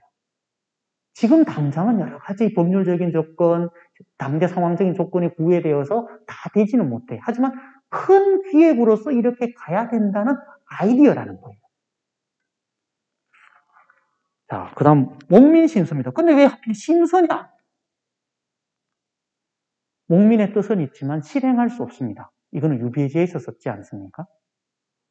다사는 곡산부사라고 하는 실제 목민관의 행정을 수행을 합니다. 그런 경험이 10분 바탕이 돼서 네, 목민관이 되면 어찌해야 되는 가 이거는 실무 핸드북이에요, 목민심서는. 그래서 처음에 관직을 제소받고부터 가서 실제로 어떻게 다스리고 마지막에 다른 사람이 와서 그러면 그 사람에게 임무를 인차하기까지가 아주 구체적인 실무 핸드북으로 되어 있고 목민심서의 가장 큰 장점은 뭐냐? 다양한 사례가 나와 있어요. 그러니까 이거는 당장 그 책을 취해서 보면은 아, 목민관은 어찌해야 되는 걸 하나하나 다 할 수 있어요. 그게 목민심서의 강점이에요. 그렇지만 자신의 경험을 바탕으로 썼지만 실제로 자기가 그 핸드북을 직접 자기가 쓸 수는 없기 때문에 자신의 경험치와 자신이 해야 될 거를 해서 하나하나 세세하게 다산이 얼마나 철저했던 분인가 하면 급여 주는데 관리들 급여 주는데 그리고 급여 받고 세금 받는데 맨날 아전들이 농간을 부리니까 자기가 가면서 자기 고을 전체를 표로 그려가지고 누구 집에는 뭐가 있고 누구 집에 뭐가 있고 이렇게 가지고 샅샅이 알고 있습니다. 그래서 거기서 조금이라도 보시면 야 여기는 뭐가 있잖아 이런 분이 다산이에요. 아주 철저한 분이거든요. 그분이 목민과는 어떠해야 되는가 실무 핸드북을 만든 겁니다. 그러니까 당장 써먹을 수 있는 거예요, 이 책은. 목민이란 무엇인가? 오늘날의 인하여 우리의 백성을 다스리는 것이다. 굉장히 당장 써먹을 수 있게 되어 있습니다. 당장 써먹을 수 있도록 되어 있기 때문에 자 실제로 목민관이 갔다. 근데 이전에 자기 전임 수령이 뭐 이것 좀 했는데 아, 보니까 좀 안 맞아. 그럼 그걸 바로 협하고 개혁하느냐? 못 그러죠. 그래서 목민심서에 보면 그런 고민이 꽤 있어요. 왜? 이거는 당장 실무적으로 써먹어야 되는데 이전 전임 수령이 했던 거, 전임 목관이 했던 걸 어찌할 것이냐? 또 관행적으로 진행되고 있는 걸 어찌할 것이냐? 이런 것들에 대해서 다산의 고민이 고스란히 있어요. 그 외에 이제 목민심서에 가장 빛나는 부분은 진율이라고 하는 부분인데 가뭄이 지거나 어떤 뭐 큰 홍수가 나고 이렇게 할 때 백성들 어떻게 구제할까 이런 굉장히 구체적으로 돼 있어요. 아주 빛나는 부분들이 있는데 결론적으로 이 목민심서는 경세유표화다. 이거는 큰 아이디어고 이거는 구체적 실행서 오늘의 법으로 백성을 다스리는 거. 지금 그러니까 이거는 실무행도보기 때문에 지금 봐도 그게 쏙쏙 들어옵니다. 사례가 풍부하게 들어가 있고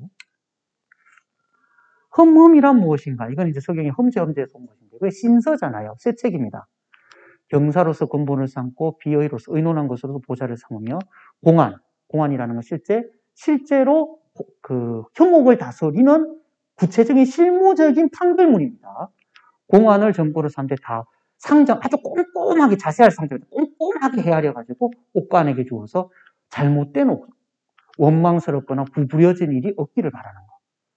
이거는 형법 심리서예요. 형법 심리서.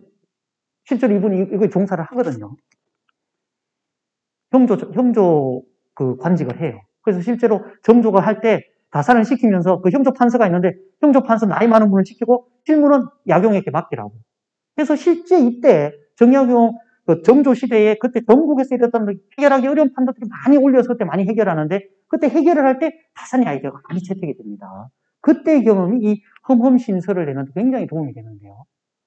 어찌 보면 형법과 관련한 가장 어떻게 보면은 고민이 많고 그리고 구체적인 내용이 들어가 있는 책이다 이래 볼 수 있습니다. 형법 법률서예요. 그러니까 결론적으로 경세유표는 고전을 활용해서 새로운 나라를 건설한 국가 개조의 방향이 있지만 당장의 변화는 어려움이 있고 목민심서는 당대법부터 당대 백성을 다스리는 당장 활용이 가능합니다. 허문심서는 옥사의 공평을 위해 고전과 당대를 종합 판단한 근거를 제공한 것이죠. 그러니까 다 자신의 어떤 관직으로서의 경험이 반영된 경세서였던 것입니다. 국가개혁을 위한 거대한 기획, 목민과 형정을 위한 구체적인 실무 지침서, 다산의 경세학은 당대 개혁을 위해서 유교의 구조와 당대 신문을 시적절하게 배합을 해서 낸 책이다 이렇게 볼 수 있는데요.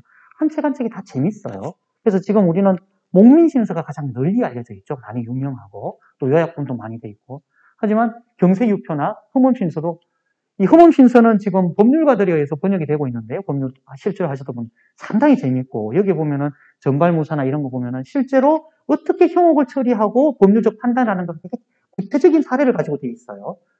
번역이 다 나와 있으니까 한번 여러분 보시면 도움이 될 겁니다.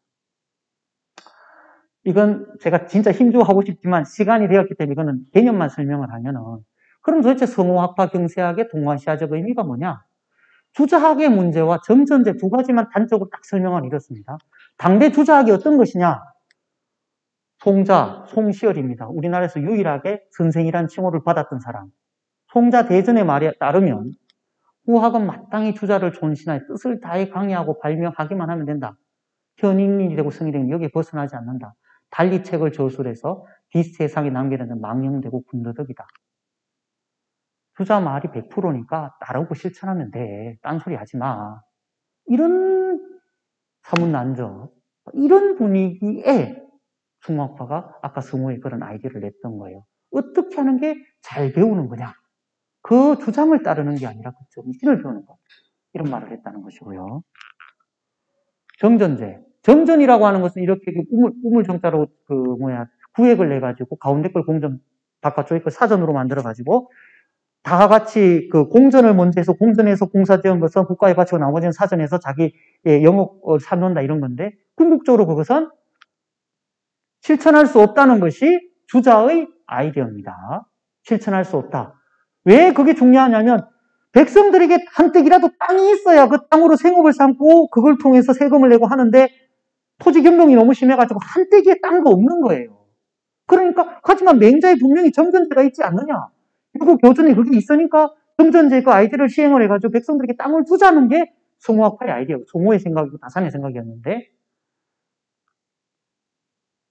투자, 투자도 할 수 없다고 그랬고 한원진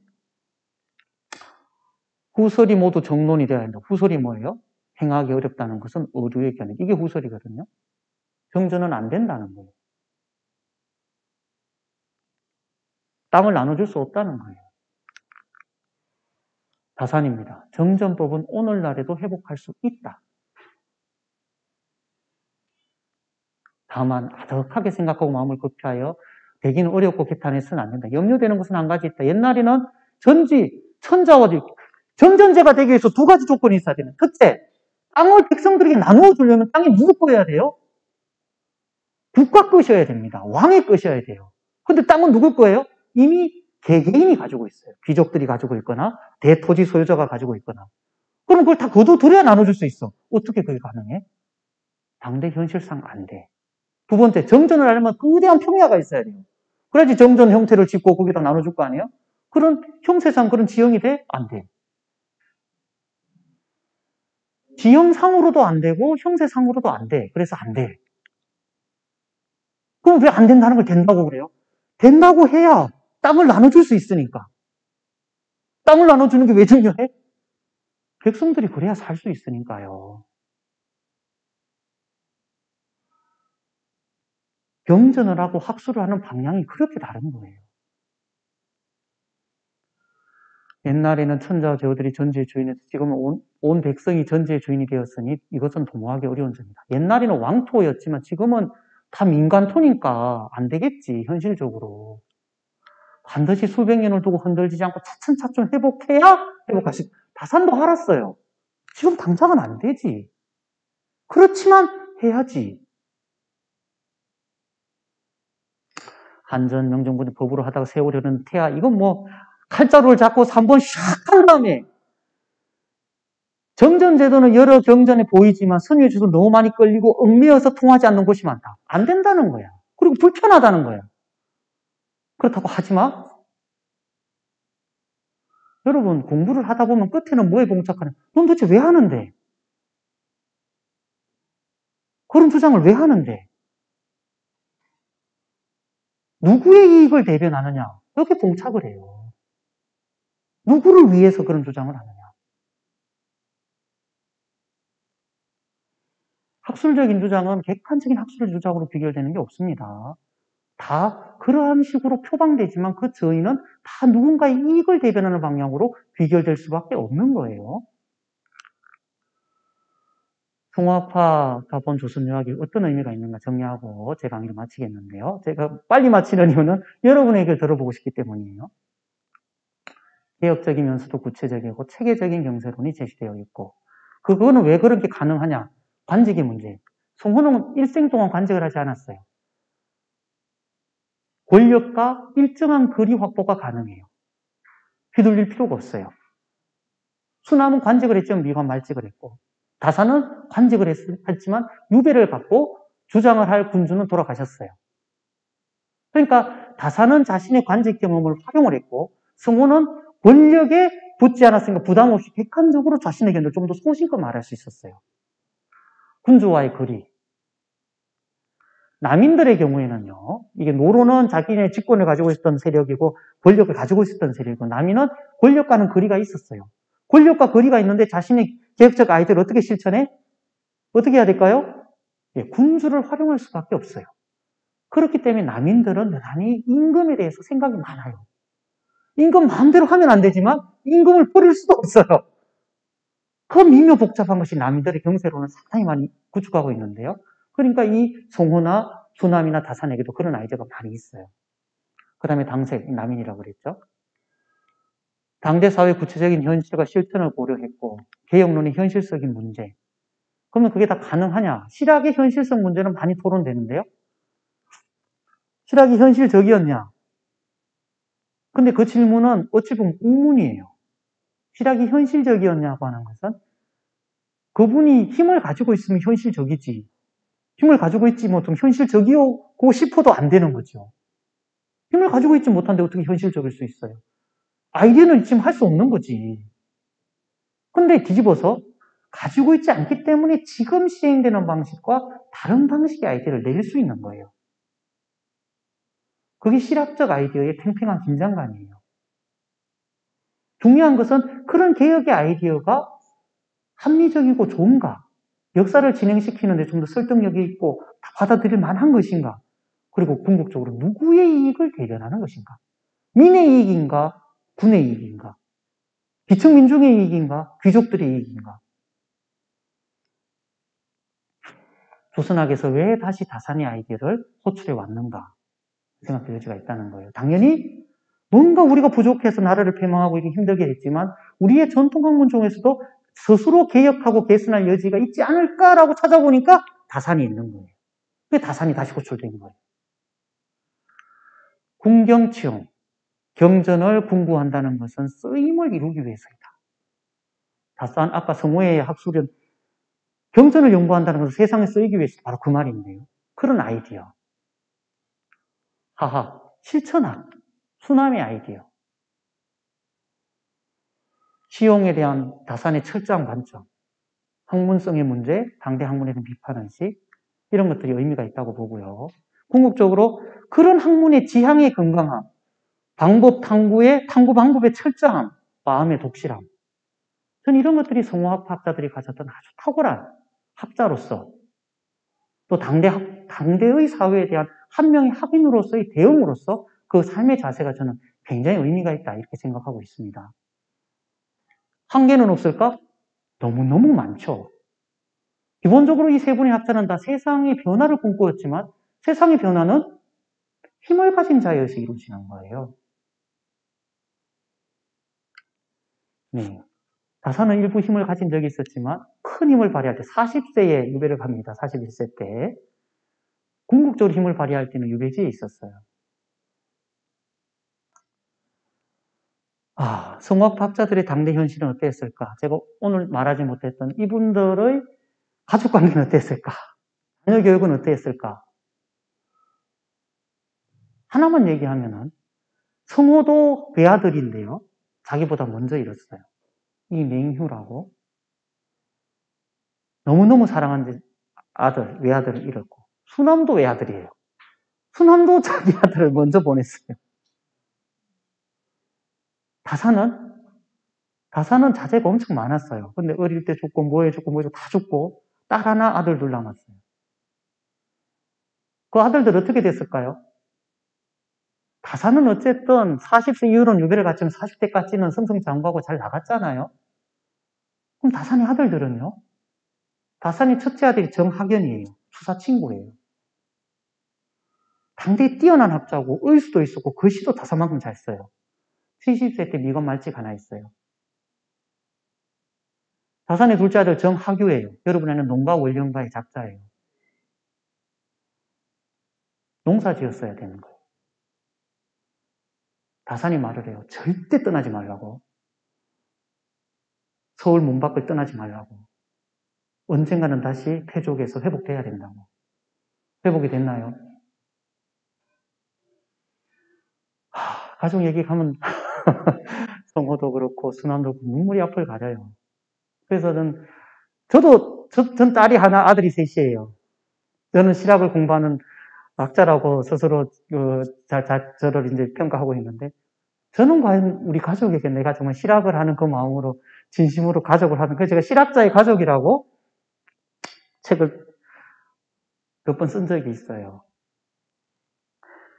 아, 실제로 어떤 이, 이분들이 어떤 삶의 지향, 아이디어와 어떤 형형한 눈과는 별도로 이분들의 삶이 다 행복하고 좋고 그런 건 아니에요. 하지만 이분들은 철저하게 자신의 시대에 심각한 문제의식을 가지고 조금 더 나은 방향으로 개선하기 위해서 자신의 온몸을 던지고 그것으로 자신의 견해를 냈다는 정도는 말할 수 있겠어요. 질의응답 시간인데요. 뭐 제가 이 강의를 하면서 제가 오늘 성화학파의 학술의 전부에 대해서 강의했다 자부하지 못하겠습니다. 하지만 성화학파 학자들이 중요하게 생각했던 일부를 그의 육성을 통해서 문헌이지만 통해서 들었고 그거에 대해서 제 의견을 약간 붙인 것으로서 강의를 대신했는데요. 혹시나 오늘 강의 전체에 대해서 어, 궁금하거나 생각을 달리 하시거나 뭐, 뭐든지 좋습니다. 말씀을 주신다면 제가 아는 범위 내에서 어, 소신껏 한번 답변을 드려보겠습니다. 네, 선생님 말씀 주시죠. 다산이 비판한 그 다섯 오원론에서 그 문장학 비판 있잖아요. 문장학 비판. 아니 조금 이제 소설이라든가 이런 것이 그 유행에 있고 밈 박지원 문장 같은 거. 그렇습니다. 뭐 여기 문체 정조의 문체 반정과 관련된 주장 같은데 네. 예, 그거랑 관련해서 그 저기 교수님이 그 초두에 그 공자행자를 정치가라고 규정하기 시작했듯이 그 그런 시각으로 경우를 보면 그 이사 성우도 마찬가지입니다. 그 정치가로서 경세 학자로서 오늘 강의니까 그런 취지는 이해하는데 문화 이제 이런 거에 있어서는 그 자기 마음이 어느 쪽에 있어가지고 그냥 그 맛이 아닌 거 아닌가 이런 생각이 들고 그리고 그 여전 저기 정전제에 대한 그 궁금증인데요. 궁극적으로는 정전제로 가야 된다라고 계속 얘기해 주신 것 같은데 제가 예전에 잠깐 배운 걸로는 정전제를 주장하지 않고 여전제를 주장했다. 이게 음. 현 시대에 맞다 그러는데 사실 여전제의 내용은 잘 모르, 모릅니다. 네. 그래서 이제 그 전- 전체적으로 정조는 진짜 위대한 그 실무가형 음, 학자이지만 그 사람이 추구했던 게 그, 그 아까 또 그 끝부분에 교수님 얘기하신 거, 그 남인 그룹이 어쩔 수 없이 왕의 기대에 살 수밖에 없다 그랬는데 그 진정하게 그 예를 들어 혁명이라든가 예, 그 있어요. 어떤 그 민중이나 주체 의식 이런 거 같은 것까지는 나가지 못한 그런 한계가 있지 않나 이런 생각이 들어서 억지로 한번 그런 생각을 한번 해봤습니다. 아, 예. 좀 복합적인 질문이 있는데요. 첫 번째는 어, 어떤 다산 정약용의 어떤 그 문학관에 대한 질문으로 요약이 될 수 있을 것 같은데요. 다산의 다산은 실제로 다산 신문집에서 신문집이 있고 다산 신문집 자체가 굉장히 뛰어난 그 어떤 문학적 성취가 있기 때문에 그에 대해서도 이미 많은 연구가 진행되어 있습니다. 어, 그런데 이제 다산의 그 어떤 여기에 보는 여기에 그 여기에서 주장하는 것을 우리가 조금 더 이분의 진심이라고 이해한다면은 다산 신문집이 이미 상당히 많고 또 다산 스스로도 강진에서요 제자들을 가르칠 때에 제자들을 어떻게 모았을까요? 처음에는 아무도 안 왔어요 천도쟁이라고 해서 그래서 그 있는 주막에 있는 분하고 주로 이제 강진 업성의 아전 아전 자제들 그러니까 아주 지체 높은 집 별로 없었다는 것인데요. 다산이 신문집에 남아 있습니다. 다산이 이 문, 과거 과문에 아주 뛰어났어요. 과문에. 과문에 너무 뛰어나가지고, 그, 그 신문집에 있기 때문에 저도 그걸 좀 의아해 했습니다만, 당신에게 배우면 과문을 제대로 공부할 수 있다라고 가르칩니다. 실제로, 다산이. 네. 그런데, 어, 뭐, 설명을 하기가 좀 쉽진 않은데요. 그, 다산의 그, 문학에 대한 아이디어는 자신이 뛰어난 실력이 있고 또 문장에 대한 실력이 있었던 분명한데 그렇지만은 다산은 학문에 대한 기본 인식이 뭔가 하면은 몸을 수양하고 어버이를 섬기고 임금을 옳은 길로 해야 되는 상당히 정치적 지향에 철저합니다. 그러니까 시경을 공부하거나 시를 짓는 것도 우국 충정에 있지 않은 건 시가 아니다라고 다산이 한 말이 있습니다. 그런 점에서 어떻게 보면 다산은 문학 자체를 문예미적인 요소로 높이 평가한 것이 문학과의 그런 것이 아니라 어찌 보면 약간은 정치가의 감각으로 문학을 어, 정, 정치나 조금 더 나은 삶을 위한 어떤 도구로서 이해한 것이 아닌가 하는 점은 분명히 그런 점이 있습니다. 하지만 다산의 그런 주장과는 별도로 다산의 그 농민시나 애민시 같은 거 또 사회시 같은 거 보면은 다산은 이미 자신의 문학적 재능으로 당대 사회의 문제를 상당히 날카롭게 비판하고 있기는 해요.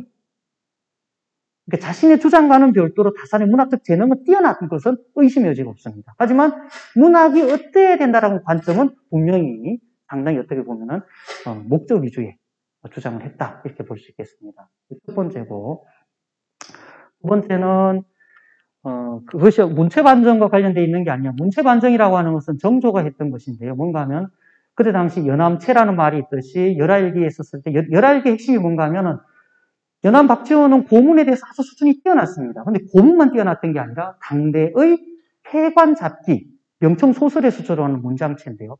폐관 찾기의 그런 문장에도 독서 범위가 넓고 본인이 여러 그 갔다 오고 있기 때문에 그런 것도 능수능란하게 그 열알기 안에 반영이 났어요. 근데 문장을 읽으면 그게 재밌어요. 그런 것이 그 문장 안에 혼재되어 있습니다. 열알기 안에. 근데 그런 문체가 열알기를 읽는 굉장히 큰 즐거움을 줬어요. 그래서 정조도 당연히 열알기를 다 했으니까 이게 연암체라고 그냥 열알기 연암체라고 탁 지명을 하거든요. 그거는 다 읽어봤기 때문에 그렇게 지명을 할 수 있는 거거든요. 그래서 문체 반정을 시도합니다. 문체 반정이라는 것은 지금 폐관 잡기식의 명성 소설식의 이런 문장이 지금 4대 부들 내에 문장 쓰는데 횡행하고 있으니 그것을 반, 돌이켜서 정, 당송고문, 그게 정입니다. 당송고문의 순정한 문체로 돌아가야 된다라고 주장한 게 문체 반정의 논리예요. 그럼 문체 반정의 대상자가 누굴까요? 문체 반정은 남인들을 공격하기 위한 게 아니에요. 그거는 나중에 정조의 여찰첩에도 나오는데요. 폐관 잡기의 문체, 그런 당대 중국에서 유행했던 문체를 누가 많이 썼을 것 같아요? 그런 책을 본 사람들이 쓰는 겁니다. 그런 책을 누가 보느냐? 중국의 사행을 많이 갔다 올 수 있는 사람이 쓰는 거예요. 노론들이 다 그거 보는 겁니다. 문체 반정은 그러니까 상당 부분은 천주교쟁이다 이런 걸로 굉장히 억압받는 남인들을 그런 문체 반정이라는 카드로 확 전환시키는 겁니다. 그러면 강력한 드라이브가 걸렸기 때문에 관심이 그걸로 확 쏠리는 겁니다. 그래서 어떤 점에서는 문체 반정은 어떤 천주교 신자라든가 이런 걸로 궁지에 몰린 남인의 몇몇 사람들을 정치적인 어떤 주의 주장을 관점, 주의를 돌려줌으로써 약간 숨통을 띄워준 그런 정치적 목적이 있는 겁니다. 문체 반정 자체의 목적보다도. 그것은 정조가 정조 어쩔첩에서 이미 그런 취지를 얘기했기 때문에 그건 분명한 거예요. 그 부분을 얘기할 수 있겠고. 마지막에, 어, 그러면 남인들은 정조를 어떻게 생각했느냐? 이 부분 약간 질문이 있으셨죠? 그 점에 대해서는 아까 제가 조금 설명했으니까 생략하고, 마지막 질문을 제가 지금 떠올리지 못하겠는데요. 아, 예. 토지제도. 토지제도에 대해서는 그 단계가 워낙 복잡하기 때문에 또 지금 학계에서 논란이 있으니까 제가 여기서 단안해서 어떻다라고 말씀드리지 못하겠습니다. 분명한 것은 제가 오늘 설명한 그런 구체적인 정책적인 내용보다는 취지를 설명했다고 저는 말씀드리고 싶은데요. 궁극적으로는 정전제를 해야 한다와 하기 어렵다는 주장이 궁극적으로 가는 방향이 중요합니다. 해야 한다는 주장은 어떤 단계를 밟더라도 결국은 정전제 핵심은 백성들에게 일정한 토지를 주자는 게 핵심이에요. 그런 반개 유형원의 반개 수록부터 주장됐던 겁니다. 백성들의 생업을 보장하고 그 위에서 토지제도나 군사제도를 해서 국가를 개혁하자는 거예요. 그리고 이러려면 토지를 많이 가진 사람들의 토지를 가둬들여야 돼요. 정전제를 할 수 없다는 것은 다양한 논의가 있지만 결국 그돈 주기 싫다는 거예요. 핵심이 그게 있습니다. 여러분 정전제가 우리 역사에 한 번도 시행이 돼 지금 정전제에 제일 가까운 개념은 토지 공개념이에요. 그게 제일 가깝습니다. 어, 일, 일제가 끝나고 1945년 전후로 해서 한번 토지를 일제가 자기가 가지고 있던 폐망하고 나갔으니까 무주공선이 됐잖아요. 지역마다 조금씩 다른데 어떤 분은 돈을 일부 주고 거둔 것도 있고 어떤 분은 무상으로 거두고 무상으로 나눠준 적이 있습니다. 어, 6.25 전쟁에 대한, 6.25 그 한국 전쟁에 대한 여러 가지 아이디어가 있는데 그 중에 결정적으로 몇 가지 새롭게 연구되는 분야 중에 하나가 어떻게 그렇게 빨리 여러 가지가 적극적으로 가다하면서 올라가는데 도움이 될 수 있었냐. 토지를 나눠준 게 상당히 유효했다는 아이디어가 요즘 최근에 학계에서 주장이 되고 있어요. 지킬 땅이 있기 때문에. 지킬 땅이 있기 때문에 빨리 거기를 회복하고 싶어 했다는 거예요. 많이들. 지금은 이제 정전제 안 되겠죠? 왜? 토지를 거둘 수 없잖아요. 헨리 조지의 진보와 빈곤이라는 책이 있습니다. 그 핵심이 뭔가 하면 결국 토지 문제예요. 토지가 지가가 오르는 것은 토지의 소유자에 의해서 지가가 오르는 게 아닙니다. 전체적인 산업의 구조 때문에 지가가 오릅니다. 근데 그 지가가 오른 그래서 이득은 누가 가냐? 토지의 소유자가 가지게 돼요. 이건 불합리한 것이 아니냐 라는 게 진보와 빈곤이죠. 그것이 계속 반복되니까 점점 더 토지의 지가가 올라지고 다양한 사회작용에서 올라간 지가가 오른 것의 혜택을 소수가 획득하게 되는 거예요. 그러면 다수가 빈곤해져요. 이건 불합리하다. 그럼 어떻게 해야 돼? 그 불합리를 조정하는 방법은 획득한 것을 상당히 그 이득 부분을 다시 사회로 환원하는 거예요. 그것이 헨리 조지라는 사람이 주장했던 진보와 빈곤형 책에서 지금 우리 부동산 문제가 워낙 민감하기 때문에 제가 여기서 논의하는 것은 부적절하다고 생각합니다. 다만 사회의 종합적인 판단에 의해서 획득된 이득이 그 이후 단계에서 어떻게 환원되고 분배되는가에 대한 철저한 정의가 관철되지 않는다면 분명히 소수의 부자와 타수의 빈곤자가 나타나는 것은 불문가지이기 때문에 그렇기 때문에 이 정전제에 대한 기본적인 아이디어 많은 사람들에게 최소한의 생업을 보장해야 되고 농업사회이기 때문에 그 최소한의 생업의 보장 방법은 토지를 나누어 줘야 된다라고 하는 아이디어는 지금도 여전히 유효하다. 지금은 땅이 아니라 생업으로서 보장해야 되는 것이죠. 그걸 통해서 국가를 새롭게 바꾸어야 한다는 아이디어가 조선시대에 있었는데요. 지금은 그런 아이디어가 필요 없느냐? 저는 그렇게 생각하지 않습니다. 그런 점에서 송화학파의 이런 정전제에 대한 정치 경제에 대한 주장은 지금도 유효하다. 유효한 주장이 있다. 이렇게 말하고 싶습니다. 네, 질문에 대한 응답이 됐는지 모르겠습니다. 네, 말씀 주시겠습니까? 혹시 그 정도전과 정약용에 대해서 조금 혹시 연구하거나 생각해 보신 바 정도전, 어, 조선에서 가장 근본적인 개혁을 꿈꿨던 사람이 정도전입니다. 정도전이 왜 반역자로 몰려 죽었을까요? 예, 왕권의 위협 세력이었기 때문입니다. 정도전은 왕이 혼자 국가를 다스리는 것이 아니라 신하와 같이 다스리기를 바랬대요. 어떤 점에서 전통시대 의회주의에 가까운 방식의 주장을 했기 때문에 태조, 태조가 아니라 태종 이방원에 의해서 제거가 된 것이죠. 역적으로 몰리고. 그런데 그 조선의 법전은 경국대전인데 그 경국 대전의 기초가 된 게 조선 경국전인데 조선 경국전은 바로 정도전이 기초를 합니다. 조선 경국전이 기초할 때 토지가 중요한데 그 토지의 문제를 다룰 때 바로 정도전이 맹자를 들고 와서 얘기를 합니다. 그리고 어떤 얘기를 하냐면 맹자 본문에는 어, 야인이 있고 군자가 있다. 야인은 농부고 군자는 치자입니다. 군자가 있어야 야인을 다스리고 야인이 있어야 군자를 봉양한다는 게 맹자의 본문이에요. 근데 정도전 어떻게 하냐면 야인이 있어야 군자를 봉양하고 군자가 있어야 야인을 다스리고 그걸 거꾸로 해서 올려놓습니다. 이건 뭔가 하면 군자를 봉양하는 야인이 중요하다는 관점을 드러낸 거예요. 맹자의 핵심, 본문, 본문의 내용을 뒤집어가면서. 정도전이 어떤 그런 아이디어를 낼수 있어요. 정도전도 정치적인 공세에 몰려가지고 유배를 간 적이 있습니다. 유배를 갔을 때 그 유배 간 지역에서 거기 향소 부곡이라고 좀 하고 있는데 약간 그렇게 사회적인 입증이 좋지 않은 지역인데 거기에서 그 농민들이 유배 온 정도전에게 그렇게 잘 챙겨줘요. 정도전이 거기서 깊은 감명을 받습니다. 그래서 이후에 저쪽에 있던 태조 이성계를 어, 본인이 픽업한 거죠. 해서 왕을 만든 다음에 여러 가지 태조는 정도전을 적극적으로 밀어줬거든요. 할때 민의 이익이 최대한 발현되는 방식으로 그 경제의 기토를 세웁니다.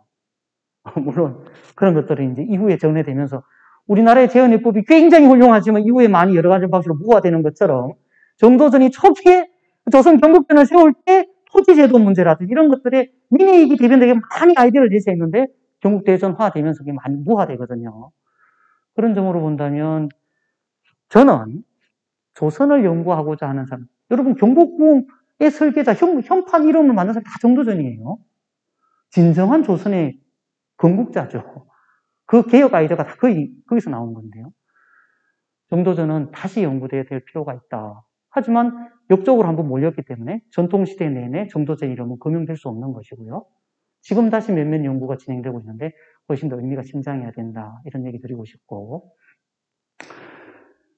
그 얘기는 하고 싶어요. 지금 정조를 말씀하셨는데 저는 차라리 그럼 세종하고 정조를 비교해 보자. 이걸 간단히 말씀드리면 어떻게 되면 세종도 책을 많이 썼고 지편전을 두었고 정조도 책을 많이 냈고 규장각을 두었어요. 차이가 뭐냐?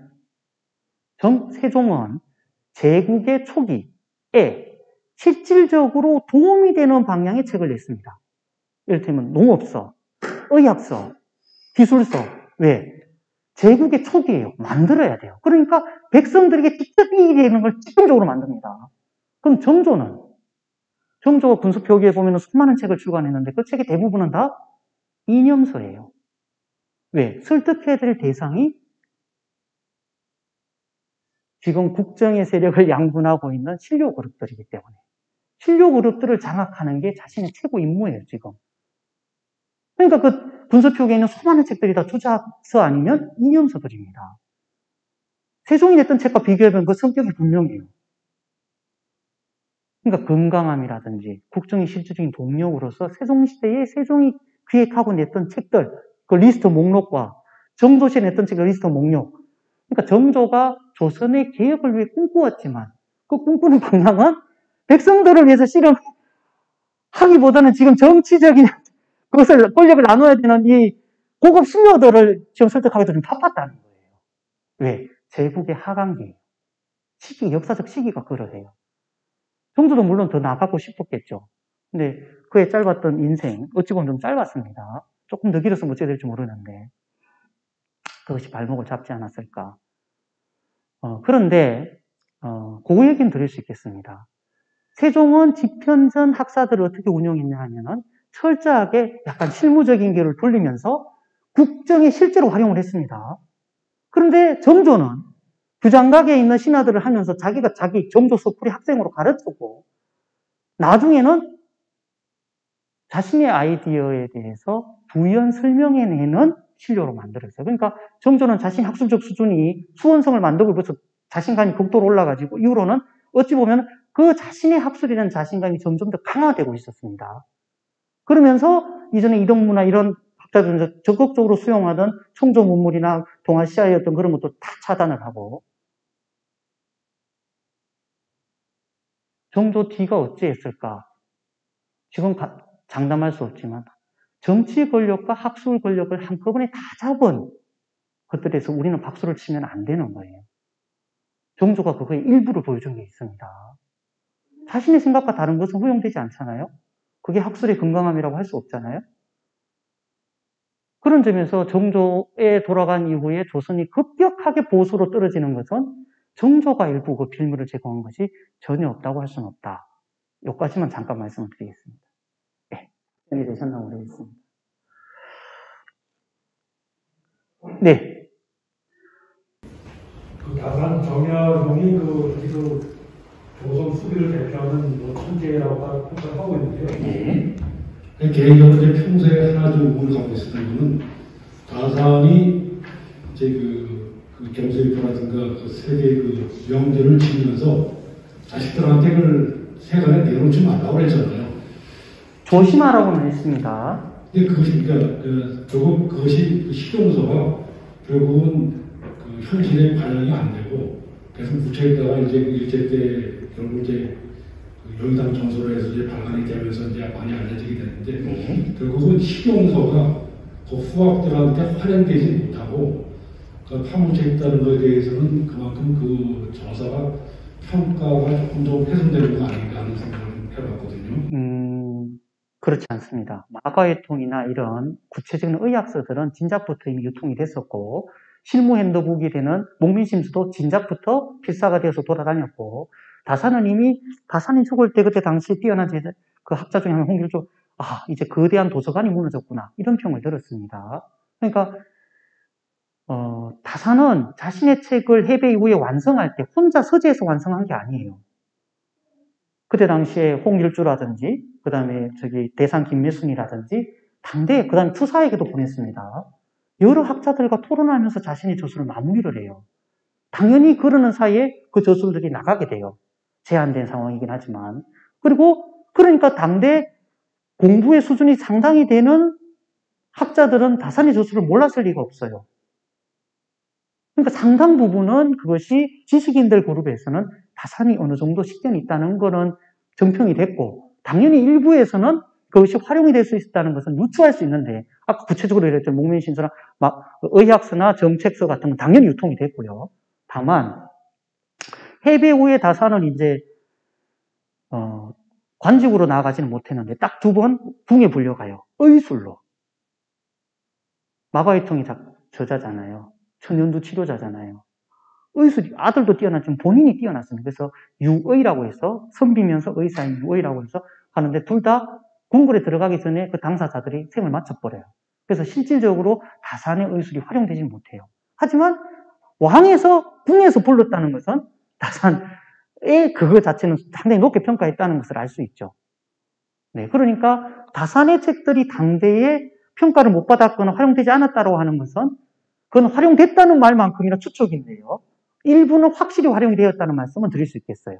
하지만 본격적으로 발굴이 돼서 전체가 보여지고는 1930년대 그때 이루어진 것이다. 하지만 학계나 지식인 그룹에서는 이미 다산이 어느 정도 식견과 금유의 저술이 있다는 것은 이미 알려져 있었다. 이렇게 말씀드릴 수 있겠어요. 그런 질문이 하나 더 네. 그 이제 다산이 천주교를 이제 매결하게 되잖아요. 그에 대한 배경이랄까 또 네. 어떤 측면에서 이제 천주교를 다시 이제 본인이 서학을 외면하게 됐는지 네. 그것도 하나 궁금하고요. 네. 그 다음에 그 성모이 갑발에서도 이제 그 천주교에 대해서 나름대로 이제 수용하는 게 참 두 가지로 좀 걸로 알고 있는데 네. 거기에 대해서 좀 간단하게 좀 설명해 네, 주세요. 말 그대로 간단하게 답변 드릴 수밖에 없겠는데요. 첫째는, 뭐, 배교했다, 이건 좀 센 말이고, 어쨌든 서학에 대해서 저는 이제 더 이상 거기에 발을 담그지 않는다는 것은 다산의 말로 나왔어요. 변방 동부 서- 서- 성지서에서 자신이 이제 젊은 시절에 거기에 관심을 가졌지만, 지금 저는 거기에 있지 않다고 점주에게 올리는 글에 자기 스스로 저는 이제 거기에 관심이 있지 않다. 했기 때문에 다산의 진심을 믿는다면, 아, 이제 다산은 천주교에 대해서 어느 정도는 발을 뺐구나 할 수 있어요. 근데 천주교가 들어올 때 서학과 서교가 같이 들어옵니다. 서학과 서교가.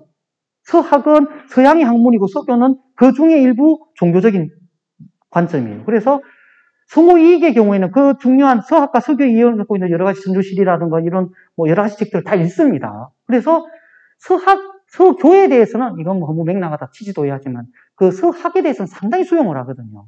의미가 있다. 정밀하다. 그리고 그 점에 대해서 다산도 동의를 해요.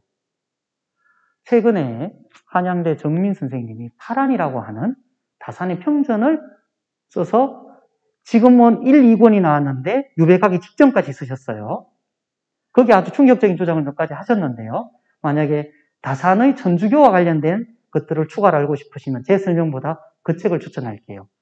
그 책에서는 어, 다산이 천주교를 벗어났다 하는 것에 대해서 정조도 믿지 않았고 믿지 않았고 막 아, 너무 좋은 글이다 했지만 실제로 믿지 않았고 이후에도 다산은 상당히 여러 중요한 국면 국면마다 그 역할을 수행한 점이 있다라고 하는 주장을 담고 있어요. 그리고 해배 그 다산의 그 유배관 대에 나타난 여러 가지 다산의 경학 저술에서 그 천주 서교의 큰 영향은 상당히 배어 있습니다. 그거는 그 해석상에 배어 있기 때문에 부정할 수가 없어요.